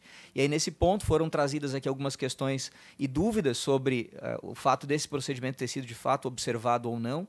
É, isso fica de incumbência da Promotoria da Moralidade Administrativa aqui da capital, que também, até onde eu sei, tem um procedimento em, em tramitação para avaliar se esse procedimento, se esse processo observou a 8.637 e, claro, também todos os outros aspectos de dúvidas orçamentárias, financeiras, de procedimentos e licitatórias que foram levantadas aqui durante a audiência e em outros espaços e, e que vão ter o, o, análise cuidadosa pela Promotoria de Justiça.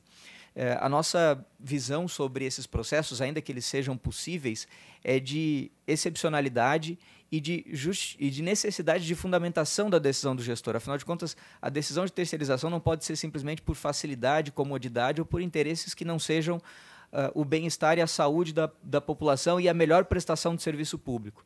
Então, essa justificativa de uma decisão de terceirização e de qualquer mudança de planejamento na política pública é algo que o Ministério Público tem condições de fazer um controle e de fazer uma avaliação. A decisão de mudar um, um estabelecimento de algum local e principalmente de terceirizar um serviço, ela tem que estar muito bem fundamentada nos melhores interesses da população e nos melhores interesses do atendimento de saúde das pessoas da cidade, e não simplesmente por conveniência administrativa. Então, esse é um processo que, eh, muito possivelmente, vai ser analisado nesses procedimentos, nesses inquéritos civis. Quero uh, informar que é possível acompanhar a movimentação dos procedimentos no site do Ministério Público. Então, tendo o número do procedimento, vocês podem acompanhar a movimentação no site. Tem um link na aba Promotorias de Justiça, você consegue consultar. E se não houver decretação de sigilo, qualquer um também pode uh, buscar junto às promotorias de justiça fazer um pedido de acesso aos autos, acesso ao procedimento para ter conhecimento do que já foi feito, do que não foi feito, eh, e inclusive apresentar informações. Essa audiência pública tem um, um, um papel importante, por isso destaco novamente a, a, relevância dela estar sendo realizada, justamente de colheita dessas informações, de reunir e sistematizar isso que está sendo trazido aqui pelos conselhos, pela população, pelos mandatos, e, e, isso poder também subsidiar esses procedimentos. A Promotoria de Justiça consegue adotar algumas medidas, mas são medidas mais formais. É, quem está na comunidade, quem vivencia os processos de decisão dentro do município, acaba conhecendo muito melhor como eles funcionam e como eles é, se dão. E trazer essas informações para a Promotoria de Justiça é de extrema relevância. Então, é, solicitar aqui ou, ou é, orientar ou, ou, conclamar que procurem essas promotorias que têm os procedimentos instaurados e levem as informações que tenham enquanto controle social para que isso também subsidie a tomada de decisão. Do contrário, fica uma informação formal que vem do próprio ente investigado. De regra, o que a Promotoria de Justiça faz é solicitar esclarecimentos, documentos e informações para o ente investigado, que no caso aqui seria o município, a Secretaria Municipal de Saúde. Então é importante haver também nesses procedimentos uh, os subsídios e um contraponto que vocês estão construindo enquanto controle social. É, deixa eu ver se tem mais alguma coisa. Penso que é isso. O impacto de mobilidade também é um, é um ponto de extrema importância para essa análise da promotoria de justiça. Afinal de contas, a piora da prestação do serviço público não pode acontecer e a, a melhoria dele é que deve ser a justificativa desses processos de mudança. Uh, entender como esse estudo foi feito e requisitar que esses estudos de impacto de mobilidade, de acesso ao serviço sejam apresentados, também é um caminho que o Ministério Público pode e deve adotar e, inclusive, teria daí sim espaço de, de intervenção caso fique demonstrado que houve uma piora desse acesso, uma piora da prestação de serviço público. Então, só reforçar a, disponibilidade do Ministério Público, em especial ali do Centro de Apoio da Saúde Pública, de participar dessas discussões. Como eu disse, eu não tenho atribuição para falar sobre o caso concreto, para falar especificamente sobre essa situação específica, eh, mas dei uma ideia das linhas gerais com as quais nós temos trabalhado eh, e deixar então a instituição aí à disposição para aquilo que puder contribuir com esse debate, com qualquer outro que venha do controle social ou dos mandatos aqui do município e do Estado de Santa Catarina. Muito obrigado.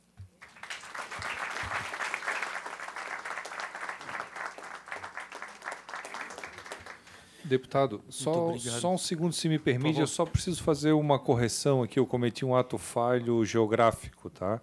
Com relação ao encaminhamento dos pacientes, eles são encaminhados via SAMU Procarianos. Desculpem a, o erro ali, tá. certo?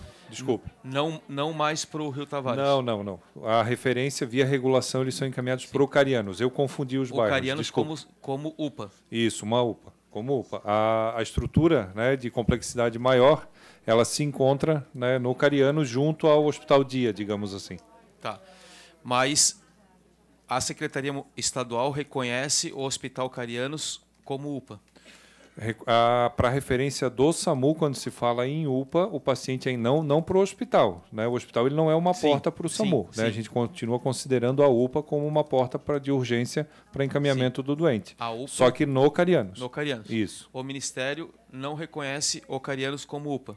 Até o momento, pelo que foi, foi falado, ainda não, tá. não receberam a documentação. Essa né? informação é importante para a gente destacar na, na nossa. Eu quero agora fazer o convite aqui para os vereadores e vereadoras fazerem uma fala, tá? Se colocando o vereador Afrânio. Três minutos, Afrânio.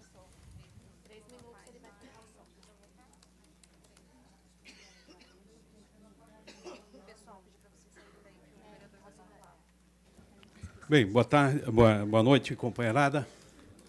Eu vou ser bem objetivo em função do tempo reduzido.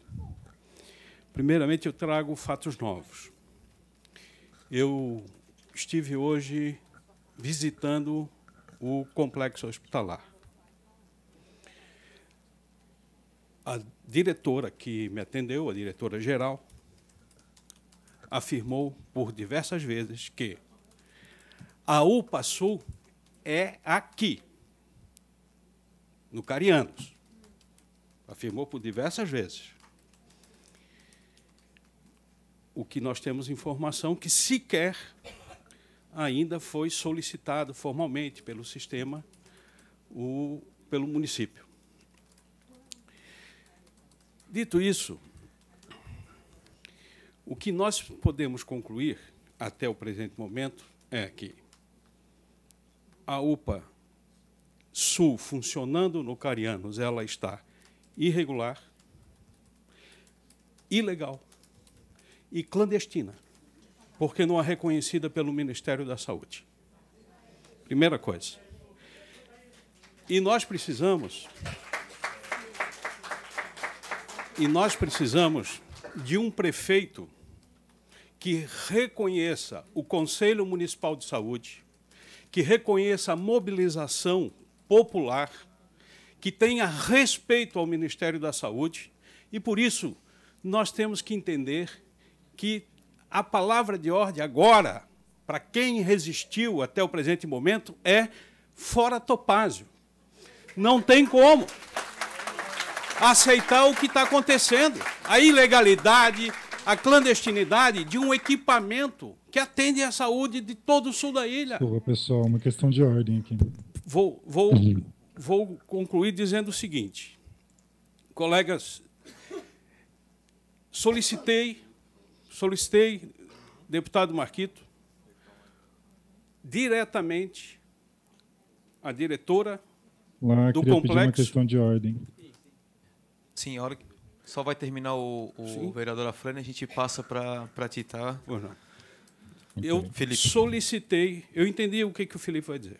Eu acho que a segunda fala dele abre a ideia de que, que está em processo, tem que funcionar para ser habilitado. Eu entendi. Eu quero de- deixar claro o seguinte: solicitei, solicitei à diretora o plano de gestão de resíduos sólidos, inclusive hospitalares. Solicitei a Lau. Sim, 30 segundos. Obrigado. Informações que eu tenho e que não me foi fornecida e foi concordado por ela mesma que está funcionando sem licença ambiental de operação. Portanto, foi uma inauguração eleitoreira. Não está apto a funcionar porque não tem sequer licença do órgão municipal que é a Floran. Vejam a gravidade. E não tem plano de gerenciamento dos resíduos sólidos hospitalares, contaminantes. Gravíssimo. Os equipamentos em caixa, equipamentos médicos caríssimos ainda sendo instalados. Não tem emergência funcionando. A UPA Sul está pela metade e ainda está nas caixas lá dentro. Não, como é que o SAMU vai levar alguém para uma UPA que sequer está funcionando? Isso é um absurdo. Nós devemos deixar claro aqui para o Ministério da Saúde que está é uma flagrante ilegalidade o que acontece em Florianópolis e que precisa da ação imediata do Ministério da Saúde. Obrigado. Vou botar. O. Felipe.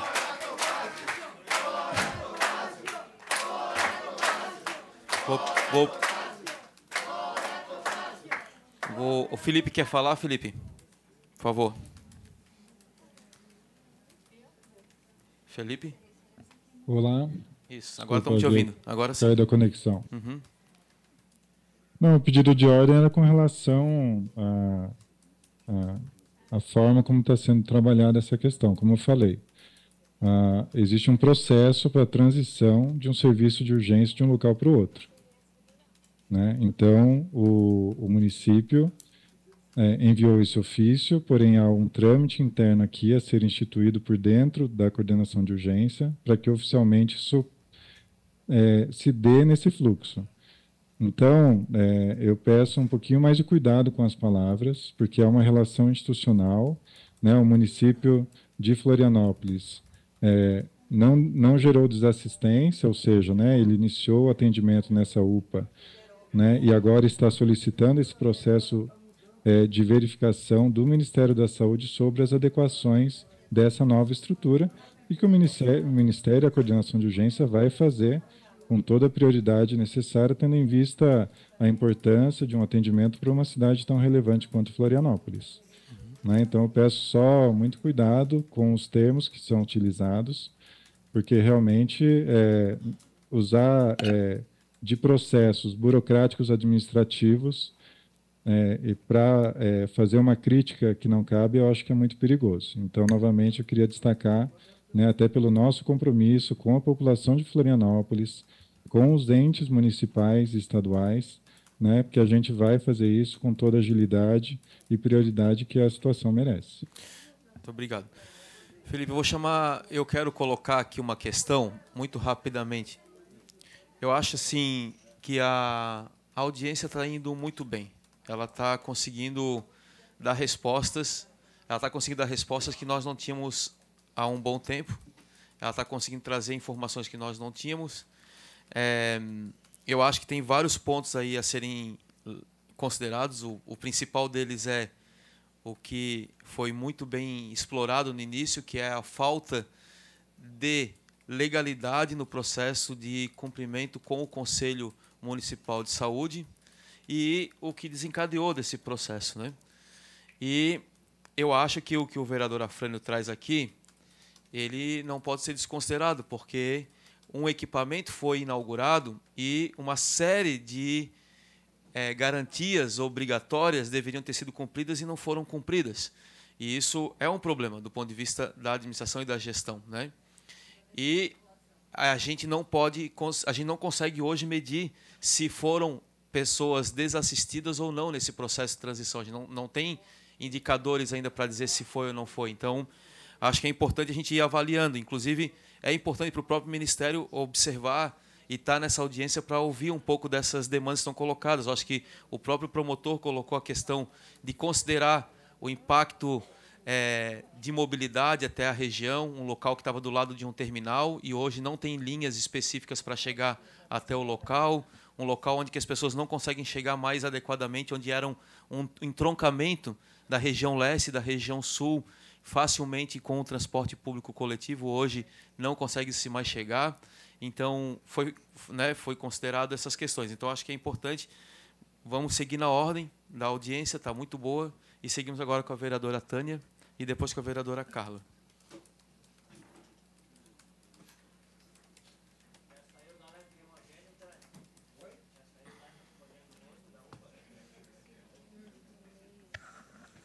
Então, pessoal, boa noite a todas, todos e todos.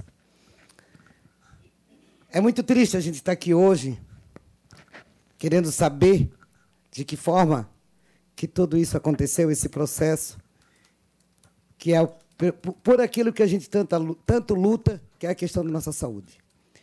É, o que foi colocado aqui, em todas as circunstâncias, aí eu gostaria que o Ministério da Saúde Federal pudesse nos acolher e nos ajudar a identificar o porquê que nós nunca tivemos informação alguma, começando pelo Conselho, que já, já fez a sua fala, ali.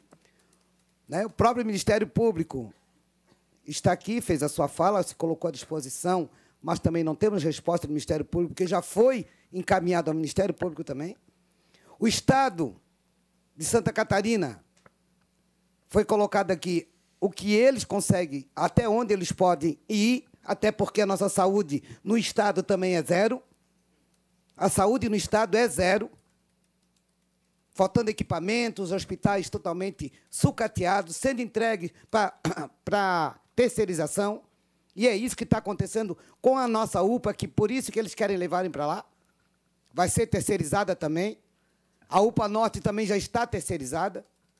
É esse o processo desse governo.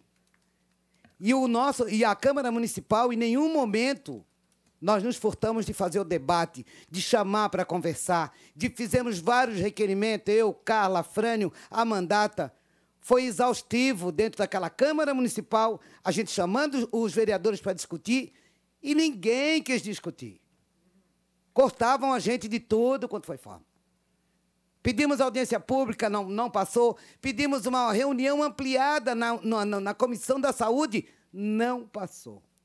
Portanto, nós continuamos até hoje sem saber de que forma que tudo isso aconteceu. E está aí o resultado. Muitos resultados, ninguém sabe. Se precisou a Assembleia Legislativa, ainda bem, o Marquito, deputado Marquito, para que pudesse chamar essa audiência pública que teria que estar no município. Que a base do governo 19 que tem lá dentro não nos deixou discutir.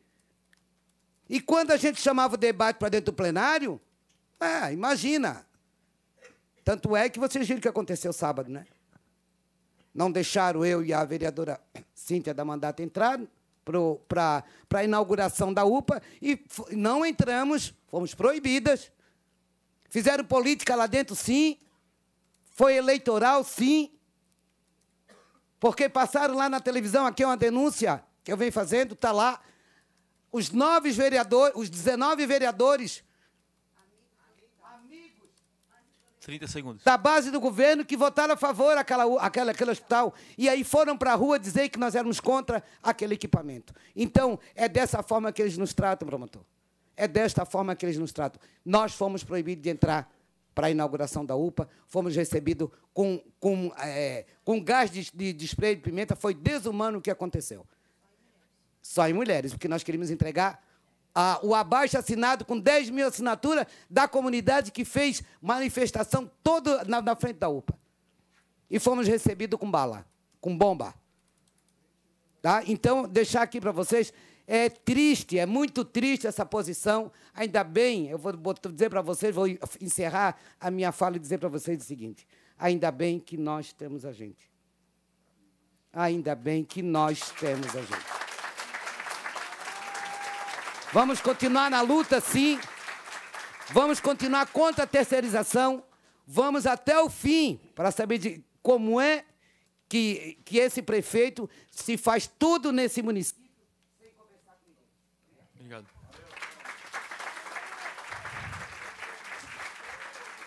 Vereadora, vereadora Carla Aires.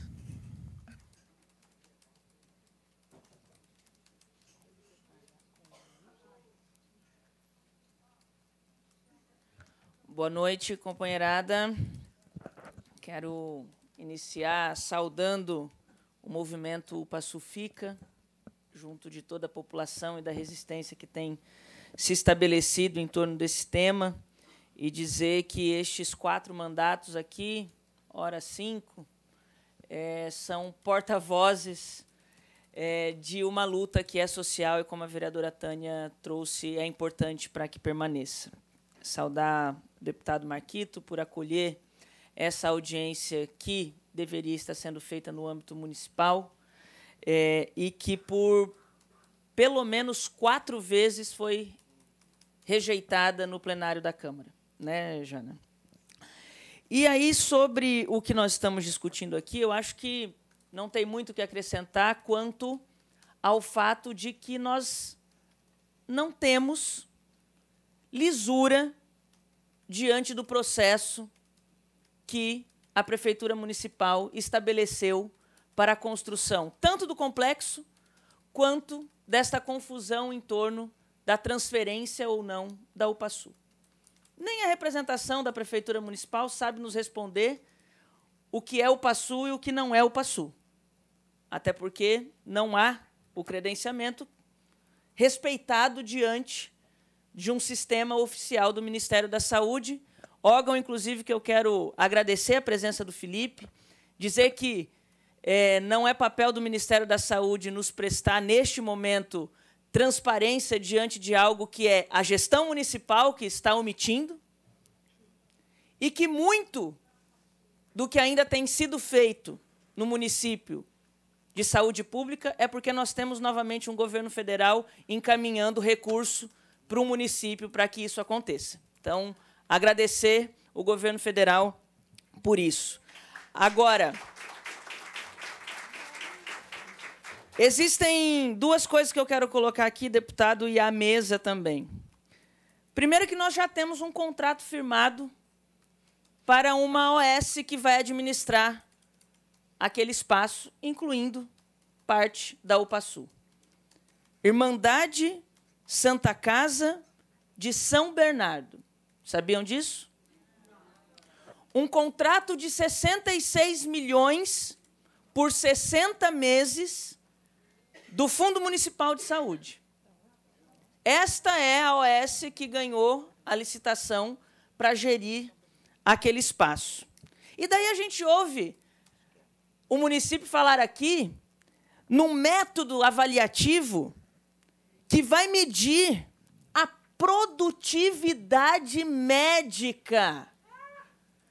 Qualidade de saúde não se mede em produtividade médica, porque este método avaliativo, inclusive, além de não prestar qualidade no serviço, ainda adoece o trabalhador, que é o modelo de terceirização imposto aqui.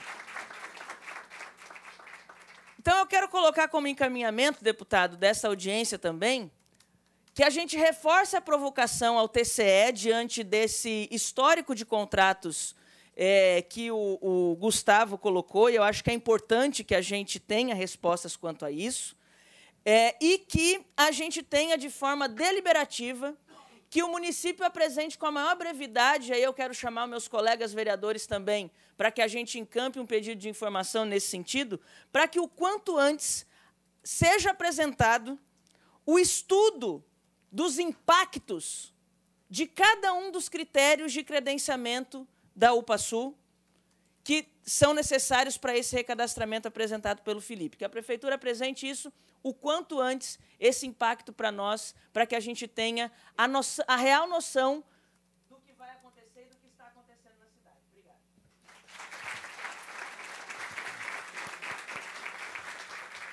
Chamo agora a Janaína, que é co-vereadora, mandata Bem Viver. Primeiramente, boa noite a todos, todas e todes. Cumprimentar também, né, esse grande movimento da UPA Sul fica, cumprimentar a mesa.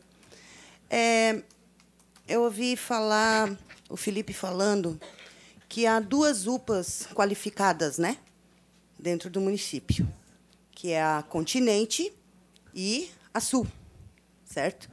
Só que dentro do Conselho Municipal de Saúde, quando a gente uh, tava, já ficou sabendo da reforma da UPA Norte, a gente tinha colocado sobre a questão das contratações, das terceirizações, dentro desse conselho. O Gustavo lembra bem disso, que a gente discutiu isso dentro do conselho. Essa desqualificação da UPA Norte foi de propósito. De propósito, porque o conselho falou sobre isso. Foi falado sobre isso dentro do conselho sobre a terceirização do serviço público, sobre a terceirização da saúde. E eu, há pouco tempo foi aprovada uma lei dentro da Câmara de Vereadores das contratações. Isso abre precedente. A vereadora Carla, a vereadora Tânia, a vereadora Frânio votaram contra. Isso abre precedente enorme, não só para a terceirização na saúde, mas dentro da educação também. E um, uma das coisas que isso levou em impacto é que amanhã nenhum centro de saúde, pelo menos o meu, que eu sou conselheira local de saúde da agronômica, amanhã estará fechado. Então, assim, ó, o impacto de todo essa, esse desgoverno, essas desinformações né, que o município traz né, para a população, joga na população, porque não consulta nada, não pergunta nada, o conselho é desvalorizado, né? A, a, o comitê gestor da cidade não responde, né? Por isso, então assim todo esse desgoverno vai resultar numa nova greve dos servidores públicos em Florianópolis. Começando por amanhã, os centros de saúde, a maioria vai estar fechado Então, assim, ó, agradeço muito ao povo que ainda luta dentro dessa cidade. E espero que a gente permaneça junto. Mas a gente precisa dessas informações, porque nós somos responsáveis também por esse, por esse espaço. Nós somos vereadores de uma cidade inteira. Nós devemos resposta a esse povo. E o povo está pedindo resposta. Houve impacto, sim, para essa colocação dessa UPA. Uma foi uma mãe dentro de um carro, esperando uma hora e meia para chegar no espaço, para ser atendida. Outra é pessoas esperando horas para ser atendido. Né? Aí tem já resultados de como as terceirizadas atendem. 30 segundos. Isso. Como as, as terceirizadas atendem em UPA, né, continente, tem um, estudos comprovando que terceirizar o serviço público é perca de tempo. É perca da saúde pública e adoecer funcionários que estão ali para trabalhar. Produtividade, a gente procura, e a gente até onde sabe, se dá em fábrica. Não são funcionários de fábrica. São funcionários para atender a população. E eles precisam estar bem para o povo estar bem também. Chamo agora a vereadora Helenira.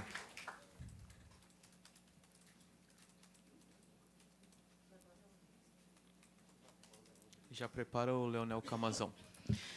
Boa noite a todos e a todas. Boa noite, é, Marquito, parabéns pela iniciativa, boa noite e parabéns ao movimento UPA Sul Fica e a UPA Norte também fica. Eu me, é, acho importantíssimo dizer algumas coisas. Eu passei 30 dias como vereadora.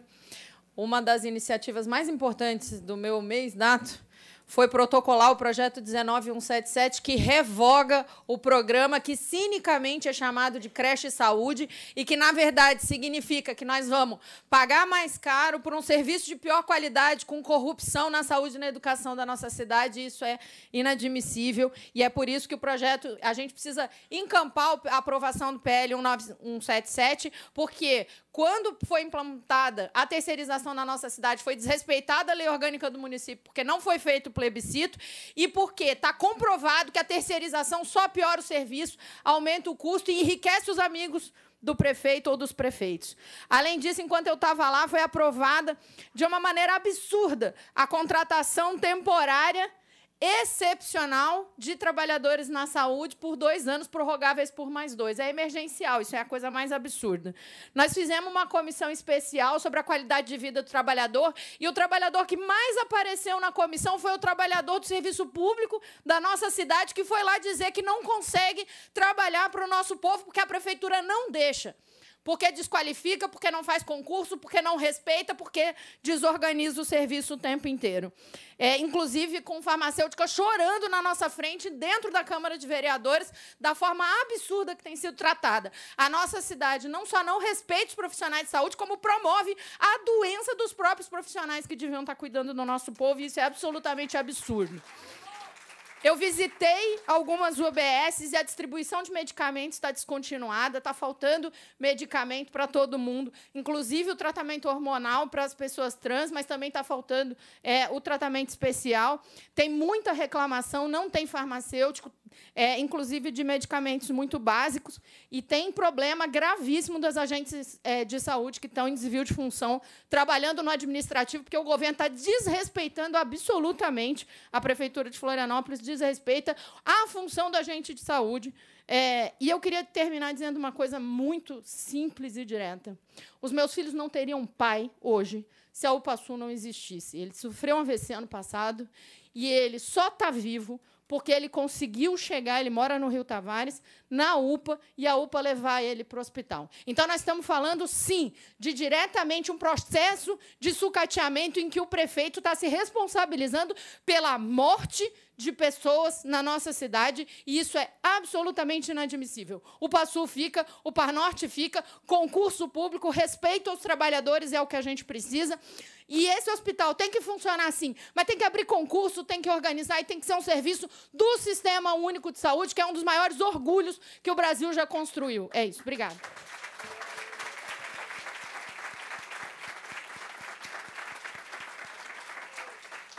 Para o vereador Leonel Camazão também, que assumiu por um período.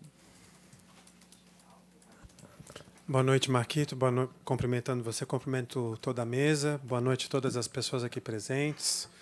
Primeiro, apesar de ter ficado na função de vereador, assim como a Lenira, por 30 dias, eh, gostaria de falar com todos vocês aqui hoje na condição de usuário do Sistema Único de Saúde. Minha família é atendida no posto de saúde da Prainha. Somos usuários da UPA Sul, sempre que temos alguma emergência um pouco mais complicada. Somos usuários da Policlínica da Avenida Rio Branco. É, e eu tendo a entender, gente, é, que a situação da UPA Sul, e cumprimento também todos os camaradas que estão nesse movimento aguerrido, a citação da UPA Sul ela é a pontinha do iceberg. O que nós estamos vivendo em Florianópolis, promotor, é um movimento sistemático, continuado, pensado, desenhado para destruir os serviços públicos municipais, vendê-los, oferecê-los por um preço maior aos cofres públicos, com uma qualidade infinitamente menor a nós que somos os usuários. É isso que está acontecendo na UPA Sul, é isso que está acontecendo na UPA Norte, é isso que está acontecendo é, e já aconteceu, por exemplo, com outros serviços menores, como, por exemplo, o estacionamento rotativo, que a empresa terceirizada que administrava saiu da cidade e deixou um, um buraco de 18 milhões de reais nos cofres públicos.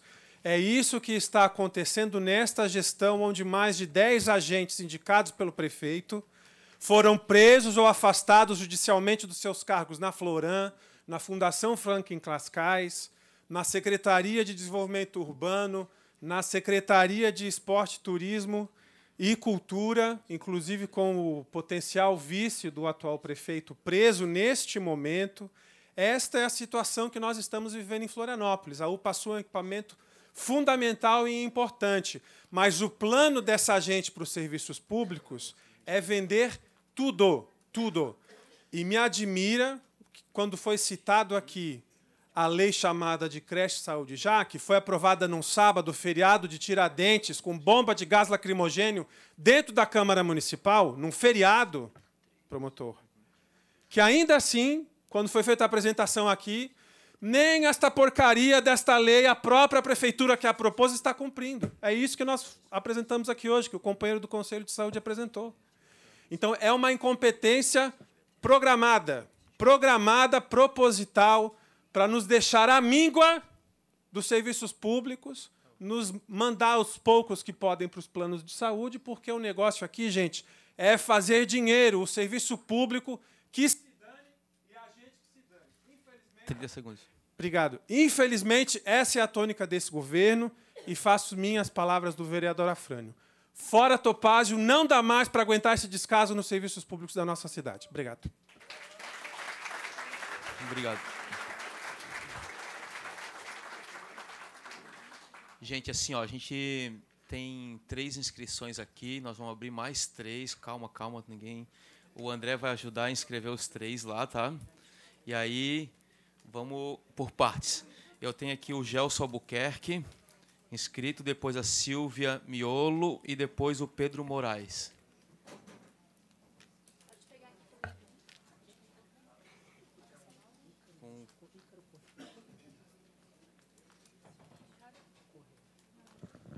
Boa noite a todas, a todos. Boa noite ao Marquito e aos membros da, da mesa. Eu queria iniciar aqui é, fazendo um agradecimento ao ao Dr. Douglas. Dr. Douglas, para quem não sabe, durante a pandemia teve uma atuação extremamente destacada na defesa do Sistema Único de Saúde e a defesa da vida. Eu era presidente do Conselho Regional de Enfermagem de Santa Catarina e a gente, através do Dr. Douglas, conseguiu conter a sanha negacionista que tínhamos, eh, não só no nosso Estado, mas também no Brasil, e aqui eu queria lhe parabenizar por essa atitude, por esse trabalho que demonstra muito uh, a ligação que o Ministério Público tem. E, por respeito ao Ministério Público, eu creio que aqui falta na mesa o Ministério Público Federal. Porque, na realidade, os recursos da área de saúde é, fica muito complicado você separar o que é federal do que é municipal nas prestações de contas. É, eu acho que é, essa é uma coisa que talvez esse movimento e nós possamos trazer para a mesa uh, o, Ministério Público, o Ministério Público Federal também. Porque essa lida aqui não é uma lida que dependa somente de uma ação, por exemplo, do Ministério Público Estadual. Também é necessário a ação do Ministério Público Federal pelos vultosos recursos que o município utiliza do governo federal.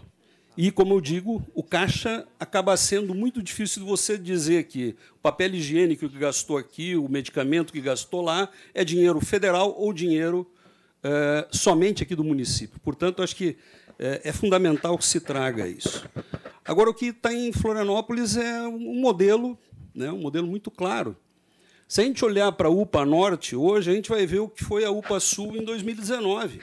Olhem a obra da UPA Norte, como é que está. Há quanto tempo aquela obra se arrasta? Deve ter um outro tipo de interesse é, que vai daqui a pouquinho aparecer, como foi o caso é, do hospital, né, ou do multi-hospital, com relação à questão da UPA. Mas a pergunta é a seguinte: por que se queriam ampliar serviço, por que não construíram uma outra estrutura e mantiveram a UPA onde ela estava? Se há um grande interesse, que é o que a gestão tenta dizer, não, mas são contra um novo serviço. Não, não, somos contra a abertura de novos serviços. Pelo contrário. Mas por que, que se faz à custa da redução do orçamento, por exemplo, da atenção primária em saúde? Porque esse é o resultado que a gente vai ter. Não é à toa que os centros de saúde começam a paralisar, porque sabem que os recursos que estão sendo destinados para aquele multi-hospital vai faltar na atenção primária. Eu sou profissional, sou enfermeiro, milito há muito tempo, tenho um caminhão. Nós tínhamos e temos os melhores profissionais da área de saúde como servidores públicos. Florianópolis se orgulha de ser premiado nacional e internacionalmente pelo excelente trabalho que os servidores públicos aqui fazem. Agora, métrica com o tempo, essa não é qualidade na área de saúde. Nós não construímos no serviço de saúde uma mesa, que a gente olha para a mesa e diz, ah, ela pode ser feita mais rápido, troca o equipamento. Nós trabalhamos com a vida, trabalhamos com as pessoas. Me desculpem quem pensa que avaliação qualitativa se dá por tempo. Está precisando voltar aos bancos escolares, algum dia, quem sabe. Então, assim, é impossível a gente é, não fazer esse, esse movimento de olhar também e começar a fazer uma articulação forte com o pessoal do norte da ilha. Porque é estranho também que todas as decisões da conferência, das conferências municipais de saúde, eu nunca vi a demanda de hospital para a região sul. Eu sempre ouvi demanda de hospital para a região norte. É, eu não sei o que, que, que, que acontece.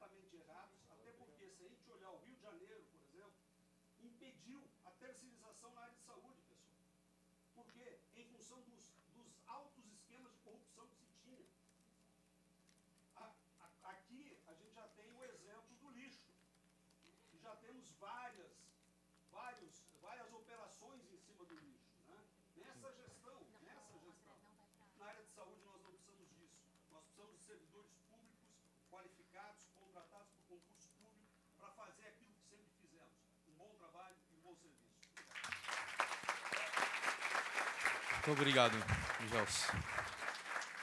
Agora a Silvia Miolo.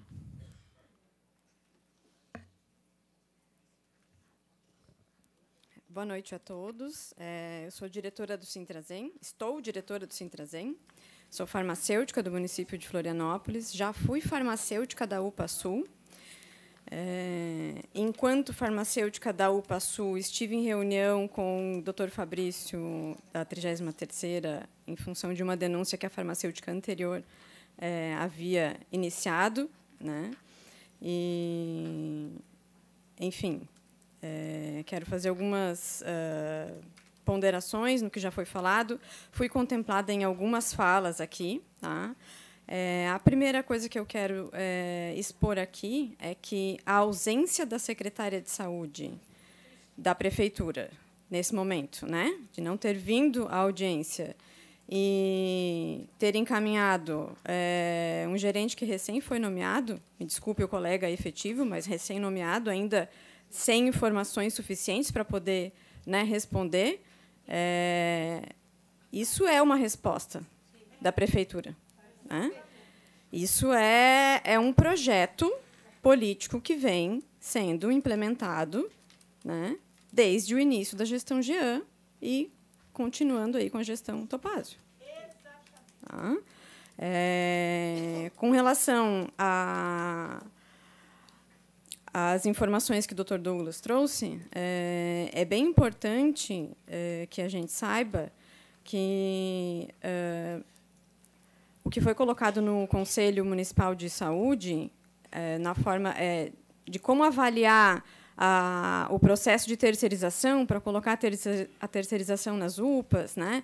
já se tinha a UPA continente terceirizada, e se fazer uso é, de valores de produtividade, de números de produtividade da UPA continente terceirizada, que é uma UPA de um porte menor, e comparar com a produtividade da UPA Norte e da UPA Sul, que, que são duas UPAs de portes maiores, né? E se a gente for pensar em toda a precarização do serviço público que vem acontecendo, né? se pensar só em números, é injusto fazer esse tipo de avaliação. Totalmente injusto. Né? principalmente pensando na precarização do serviço. Tá? É, com relação ao que o Gustavo trouxe ali, que já tinha indicação de chamar 67 eh, assistentes administrativos, né, indicado no, no, na, no conselho. A falta que esses profissionais fazem hoje faz com que toda a atenção básica seja é, tenha o, o agente comunitário de saúde assumindo a recepção no lugar do agente comunitário de saúde, como foi no lugar do assistente administrativo, como a Helenira falou. Né? E isso não é só na PS, os CAPs também estão assim. Então, isso é uma precarização de toda a prefeitura. Tá? Todo o serviço de saúde vem precarizado, e isso é a política do nosso prefeito. Né? Agora, mais um, um ponto que eu acho importante a gente. 30 segundos na questão da, uh, dos processos que venham né, sendo uh, uh, que estão em andamento no Ministério Público, é muito importante que haja diligência nos locais, porque, como eu falei antes, enquanto eu era farmacêutica da UPA, eu estive em reunião e tive que, assim, é vergonhoso eu ter que falar isso, mas eu tive que desmentir o que a gestora que estava representando o secretário de saúde na época falou para o doutor Fabrício. Tudo que ela falou eu tive que desmentir. Tá? Porque, assim, é muito fácil a prefeitura colocar num documento e dizer para o Ministério Público a, que a gente tem produtividade, que é pouca produtividade, que precisa terceirizar e tal. Né? Ah, que o prédio ele não pode ser reformado porque são muitos milhões de reais e não vale a pena, mas aí a gente gasta muitos mais milhões para pagar em aluguel né, no Carianos. Né? Então, assim, eu acho que as diligências elas são bem importantes. E, além disso, a luta dos servidores ela é muito importante. Né? Como bem uh, disseram né, as pessoas que me antecederam aqui, amanhã, né, que foi a, a co-vereadora, amanhã, né, hoje, à meia-noite, hoje, à meia-noite, estamos iniciando uma nova greve no serviço público por falta de cumprimento do acordo coletivo.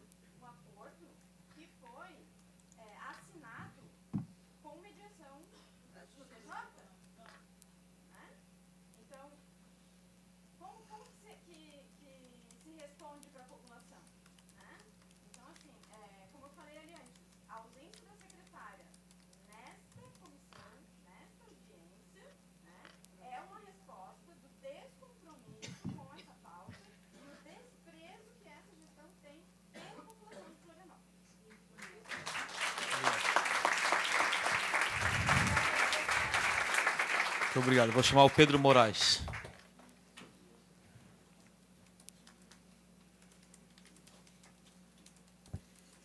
Alô? Bom, boa, boa noite ao povo. É, meu nome é Pedro Moraes, sou da Unidade Popular pelo Socialismo e do Movimento Luta de Classes. Eu concordo quando o deputado Marquito fala que essa audiência deveria estar sendo feita na Câmara de Vereadores, mas mais importante que isso, essa audiência deveria estar sendo feita nos bairros, para o povo estar sendo ouvido.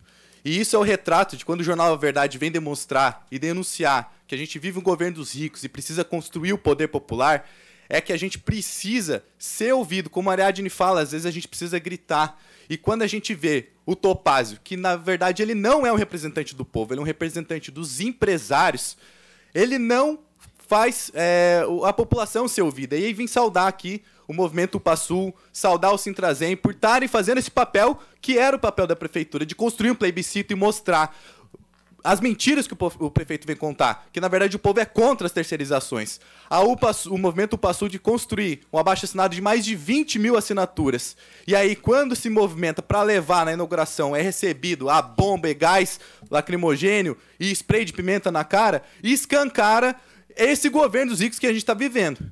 Então, assim, o principal é, problema dessa UPA Sul não é só a questão da possível corrupção, da questão orçamentária, que a gente vê que está bem escuso, na verdade, né?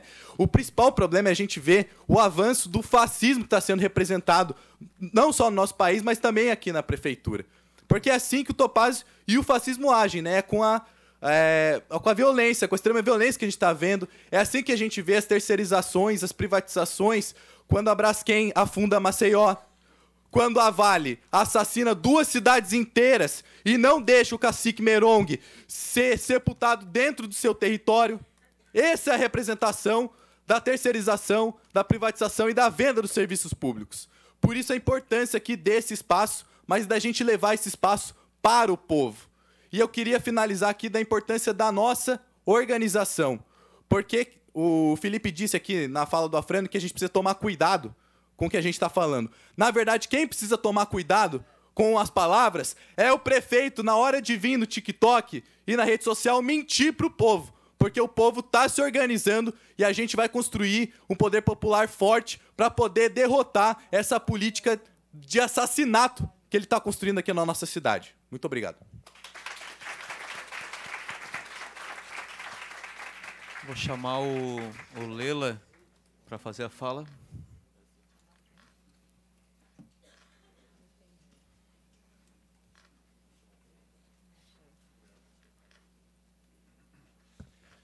Boa noite, queria cumprimentar a mesa em nome do deputado Marquito, que agradeço a oportunidade de a gente poder trazer à Assembleia Legislativa esse debate, já que lá na Câmara a gente não conseguiu, por conta de nós temos minoria. Espero que no próximo pleito a gente possa alcançar mais cadeiras para poder realmente debater a cidade. Queria cumprimentar aqui e saudar o movimento Upassu Fica, essa resistência que trouxe até o dia de hoje. Se não fosse vocês, nós não estaríamos aqui hoje debatendo. Essa resistência é muito importante. Sintrazen, que faz um trabalho hoje também de vereança na, na nossa cidade, e eu costumo dizer que é o vigésimo, é, vigésimo, vigésimo quarto vereador da, da Câmara de Vereadores. Eu estou sentindo um cheiro de novo, vereador Afrânio, de corrupção. Estou sentindo um cheiro de corrupção no ar. Porque quando a gente vê movimentos feitos na administração pública, que passam por cima dos princípios básicos da administração pública. E a gente tem exemplos aqui, doutor Douglas, como o senhor pôde ver aqui os relatos, da, da dúvida que é deixada no ar. O cheiro da dúvida na administração pública, por si só, já demonstra suspeição. Eu me preocupo muito quando os modus operandi na nossa cidade eles vêm se repetindo ano após ano. Eu lembro lá na Câmara de Vereadores quando denunciamos, e por muito fomos atacados, quando denunciamos o caso de, de corrupção dentro de um contrato dos almoxarifados, que eram públicos, terceirizaram.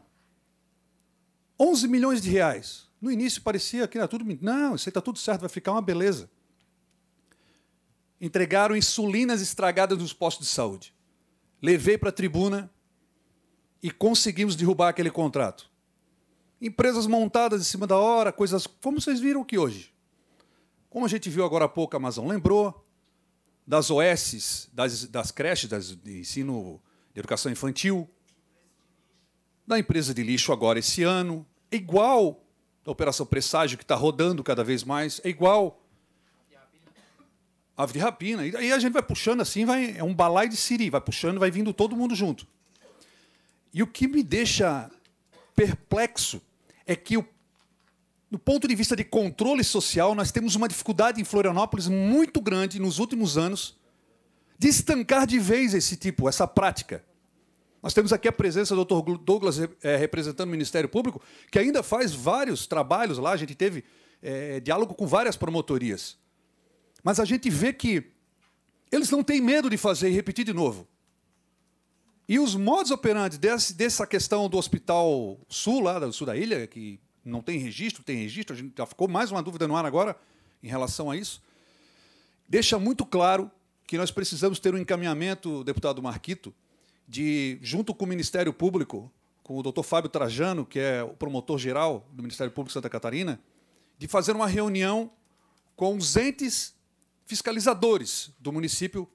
Quem quiser ir, porque nós temos minoria na Câmara, então, lá da Câmara de Vereadores e da Assembleia Legislativa, o encaminhamento que eu gostaria de contribuir era de que vereadores e deputados se unissem para sentar com a Procurador-Geral do Ministério Público de Santa Catarina e buscar nas promotorias que estão investigando essa situação, porque, no ponto de vista da fiscalização dos atos do Poder do Executivo, tem muita coisa que precisa ser esclarecida. Não é pouco o volume de financeiro que está sendo investido. Não é pouco o volume que foi apontado pela vereadora Carla Aires, que vai ser botado à mão no Fundo Municipal de Saúde. E assim foi no, no fundo das multas, na Operação Ave de Rapina com os radares semáforo na cidade, assim foi no dinheiro da educação para as OS da educação, assim agora na questão do lixo, com aumento de 17% na, na, na, na tarifa do lixo. E até quando? A gente precisa fazer um pacto aqui. A sociedade está indignada, já está cansada de cada vez que tem uma situação assim, gritar, gritar, reclamar. Nós temos as instituições e precisamos juntar as forças de quem realmente quer fazer o enfrentamento. Era essa a minha contribuição, deputado Marquito. Agradeço a todos por, a, por estarem até essa hora aqui debatendo e resistindo. O Passu fica e precisamos fazer, gente, por favor, precisamos fazer de volta ter uma prefeitura pública e fazer investimentos inteligentes. Era isso. Obrigado. Passar agora para o Ícaro Garcia. Boa noite, boa noite. Deputado Marquito, parabenizar pela, pela audiência. Eu vou ser breve, eu tenho alguns questionamentos a ser feitos.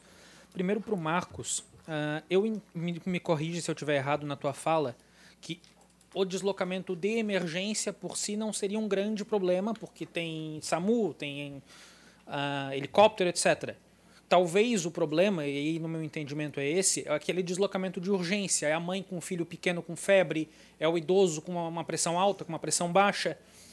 Uh, existe algum parâmetro de deslocamento de urgência, seja por veículo próprio ou por transporte público, que precisa ser cumprido se dentro da, da, dessa unidade de saúde, dessa gambiarra no Carianos, ah, por algum jogo do Havaí, por exemplo, se existir um parâmetro, esse parâmetro não for cumprido, a cidade pode ser, o município pode ser alvo de processos da pessoa que foi prejudicada por isso? É, bom, é, não tem nada na, na, legislação, quando a gente fala de urgência e emergência, que a gente possa afirmar isso no componente fixo, né? no caso aqui da UPA, né? da porta da UPA, ou da instalação com certeza o município que faz esse estudo, ele avalia né, a necessidade de implantação, não é só a população, né, ele leva em consideração algumas situações né, de próprio acesso. Né, esse estudo ele, ele tem que ser melhor feito, como né, o próprio promotor falou, com questão né, de, de deslocamento, de serviços públicos, transporte. Isso tem que ser melhor avaliado nesse momento para a gente poder falar disso com mais é, propriedade. Perfeito. Para o representante da prefeitura, eu gostaria de perguntar o seguinte: a gente entende que existe um processo que vai ser feito junto ao Ministério, ao, ao Ministério da Saúde para, para qualificar a unidade do Carianos.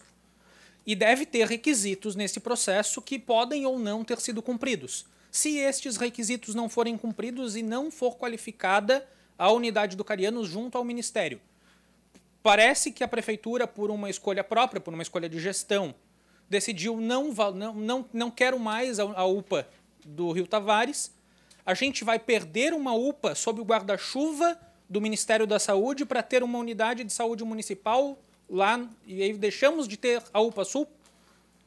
Não, essa Se não for qualificada junto ao Ministério, no caso. Essa possibilidade de não qualificação é praticamente zero. Mas existe? Não. Acredito é que praticamente não. zero ou, ou, existe? Assim, vou conversar com o pessoal do Ministério da Saúde sobre isso, mas o processo já está em andamento. Inclusive, o início dos documentos que tem que ser enviados já foram encaminhados alguns. E agora fico no aguardo do pessoal da Secretaria de Estado, que faz esse intercâmbio, essa intermediação com o Ministério da Saúde, para conseguir fazer essa transferência de endereço. Porque lá no, no local da Carianos já está com tudo adequado para que receba a qualificação do Ministério da Saúde. Mas ainda não foi feito, corre o risco de não ser qualificado. Não, o processo ele vai ser feito assim como. Ah,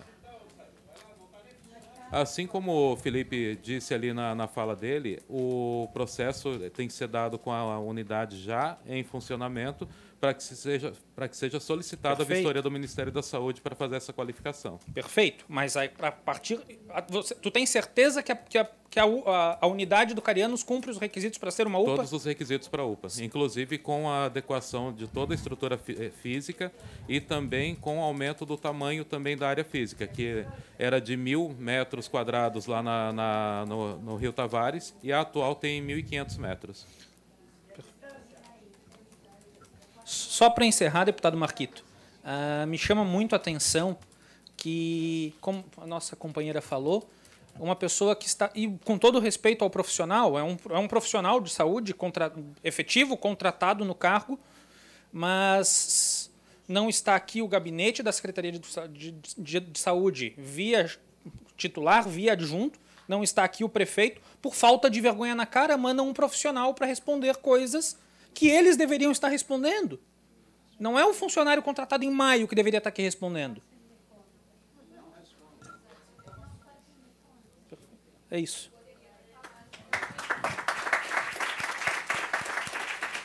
Valdinei Marques. Ney Ciclagem.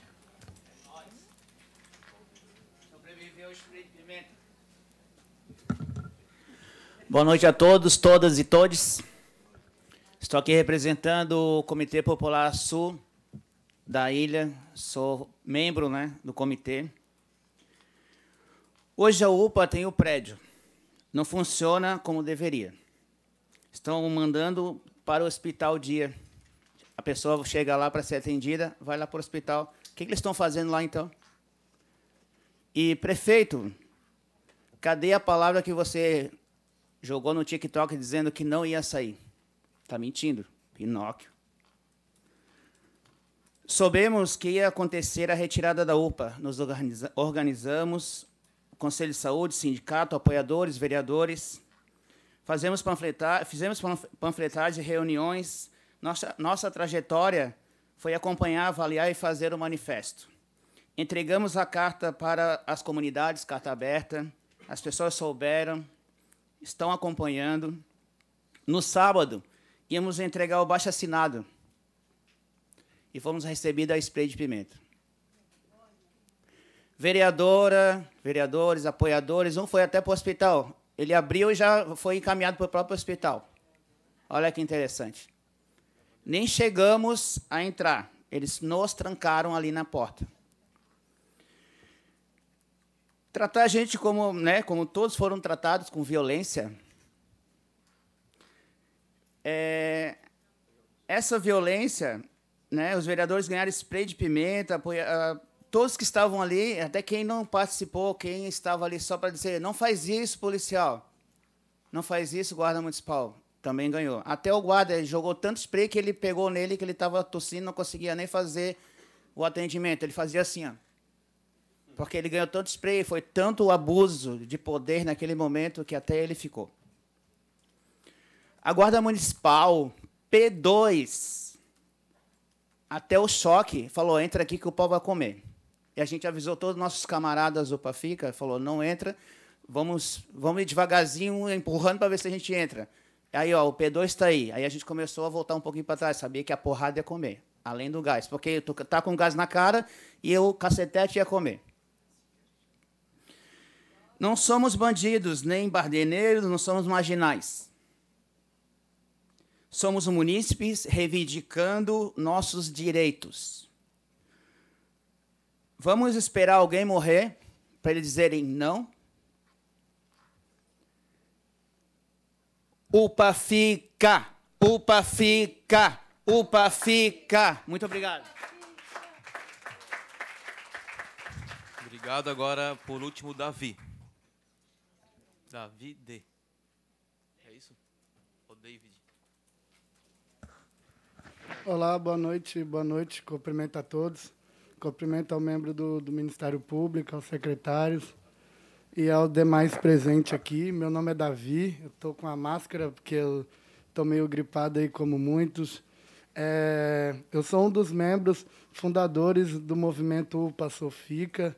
Estou desde o começo lutando. E só para responder ali ao secretário, aquela UPA, o secretário, tá daquela maneira lá no sul da ilha, porque muitas das vezes o dinheiro que era para reforma, a turma do Topázio, a turma do Jean e o que antecederam antes dele, botaram tudo no bolso, viu, secretário? Então, as reformas que foram superfaturadas, as verbas que botaram no bolso, por isso que a UPA está daquele jeito, viu, secretário? A gente, se aquela UPA está lá ainda, da maneira que ela está, porque o prefeito queria fechar ela em dezembro. Em dezembro era para ele fechar aquela UPA ali. Aí eu faço uma pergunta: como que ele ia fechar aquela UPA em dezembro?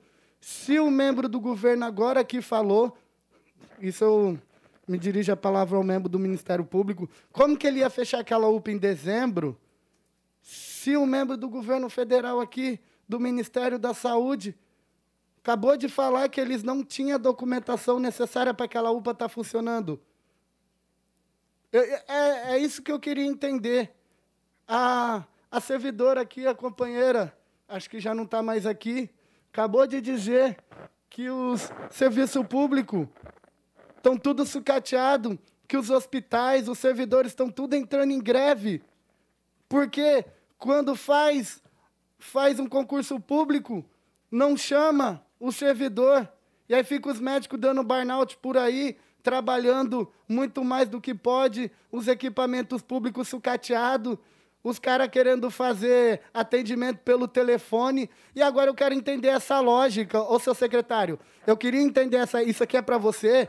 Qual que é a lógica do prefeito? Eu não entendi. Para investir para investir num posto de saúde, num equipamento de saúde, em estrutura, para os profissionais poder trabalhar com dignidade, dignidade, eles não querem investir.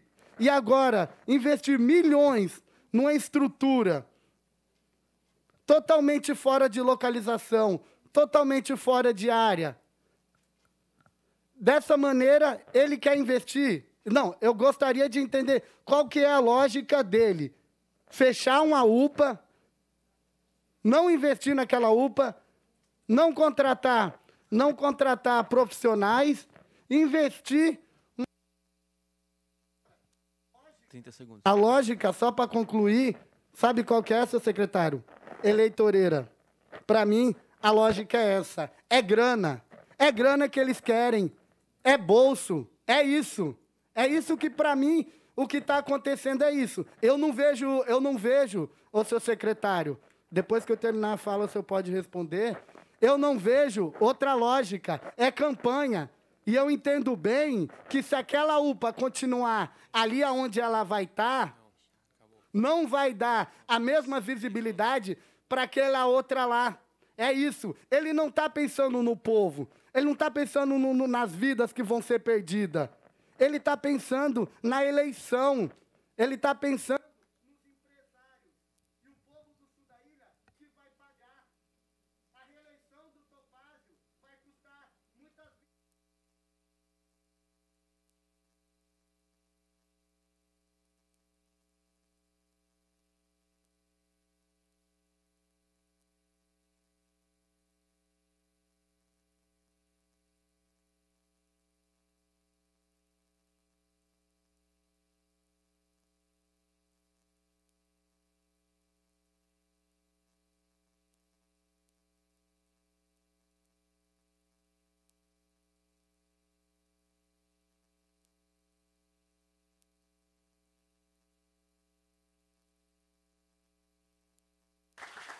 Gente, é o seguinte, a gente tem a gente tem cinco minutos para terminar essa audiência, tá?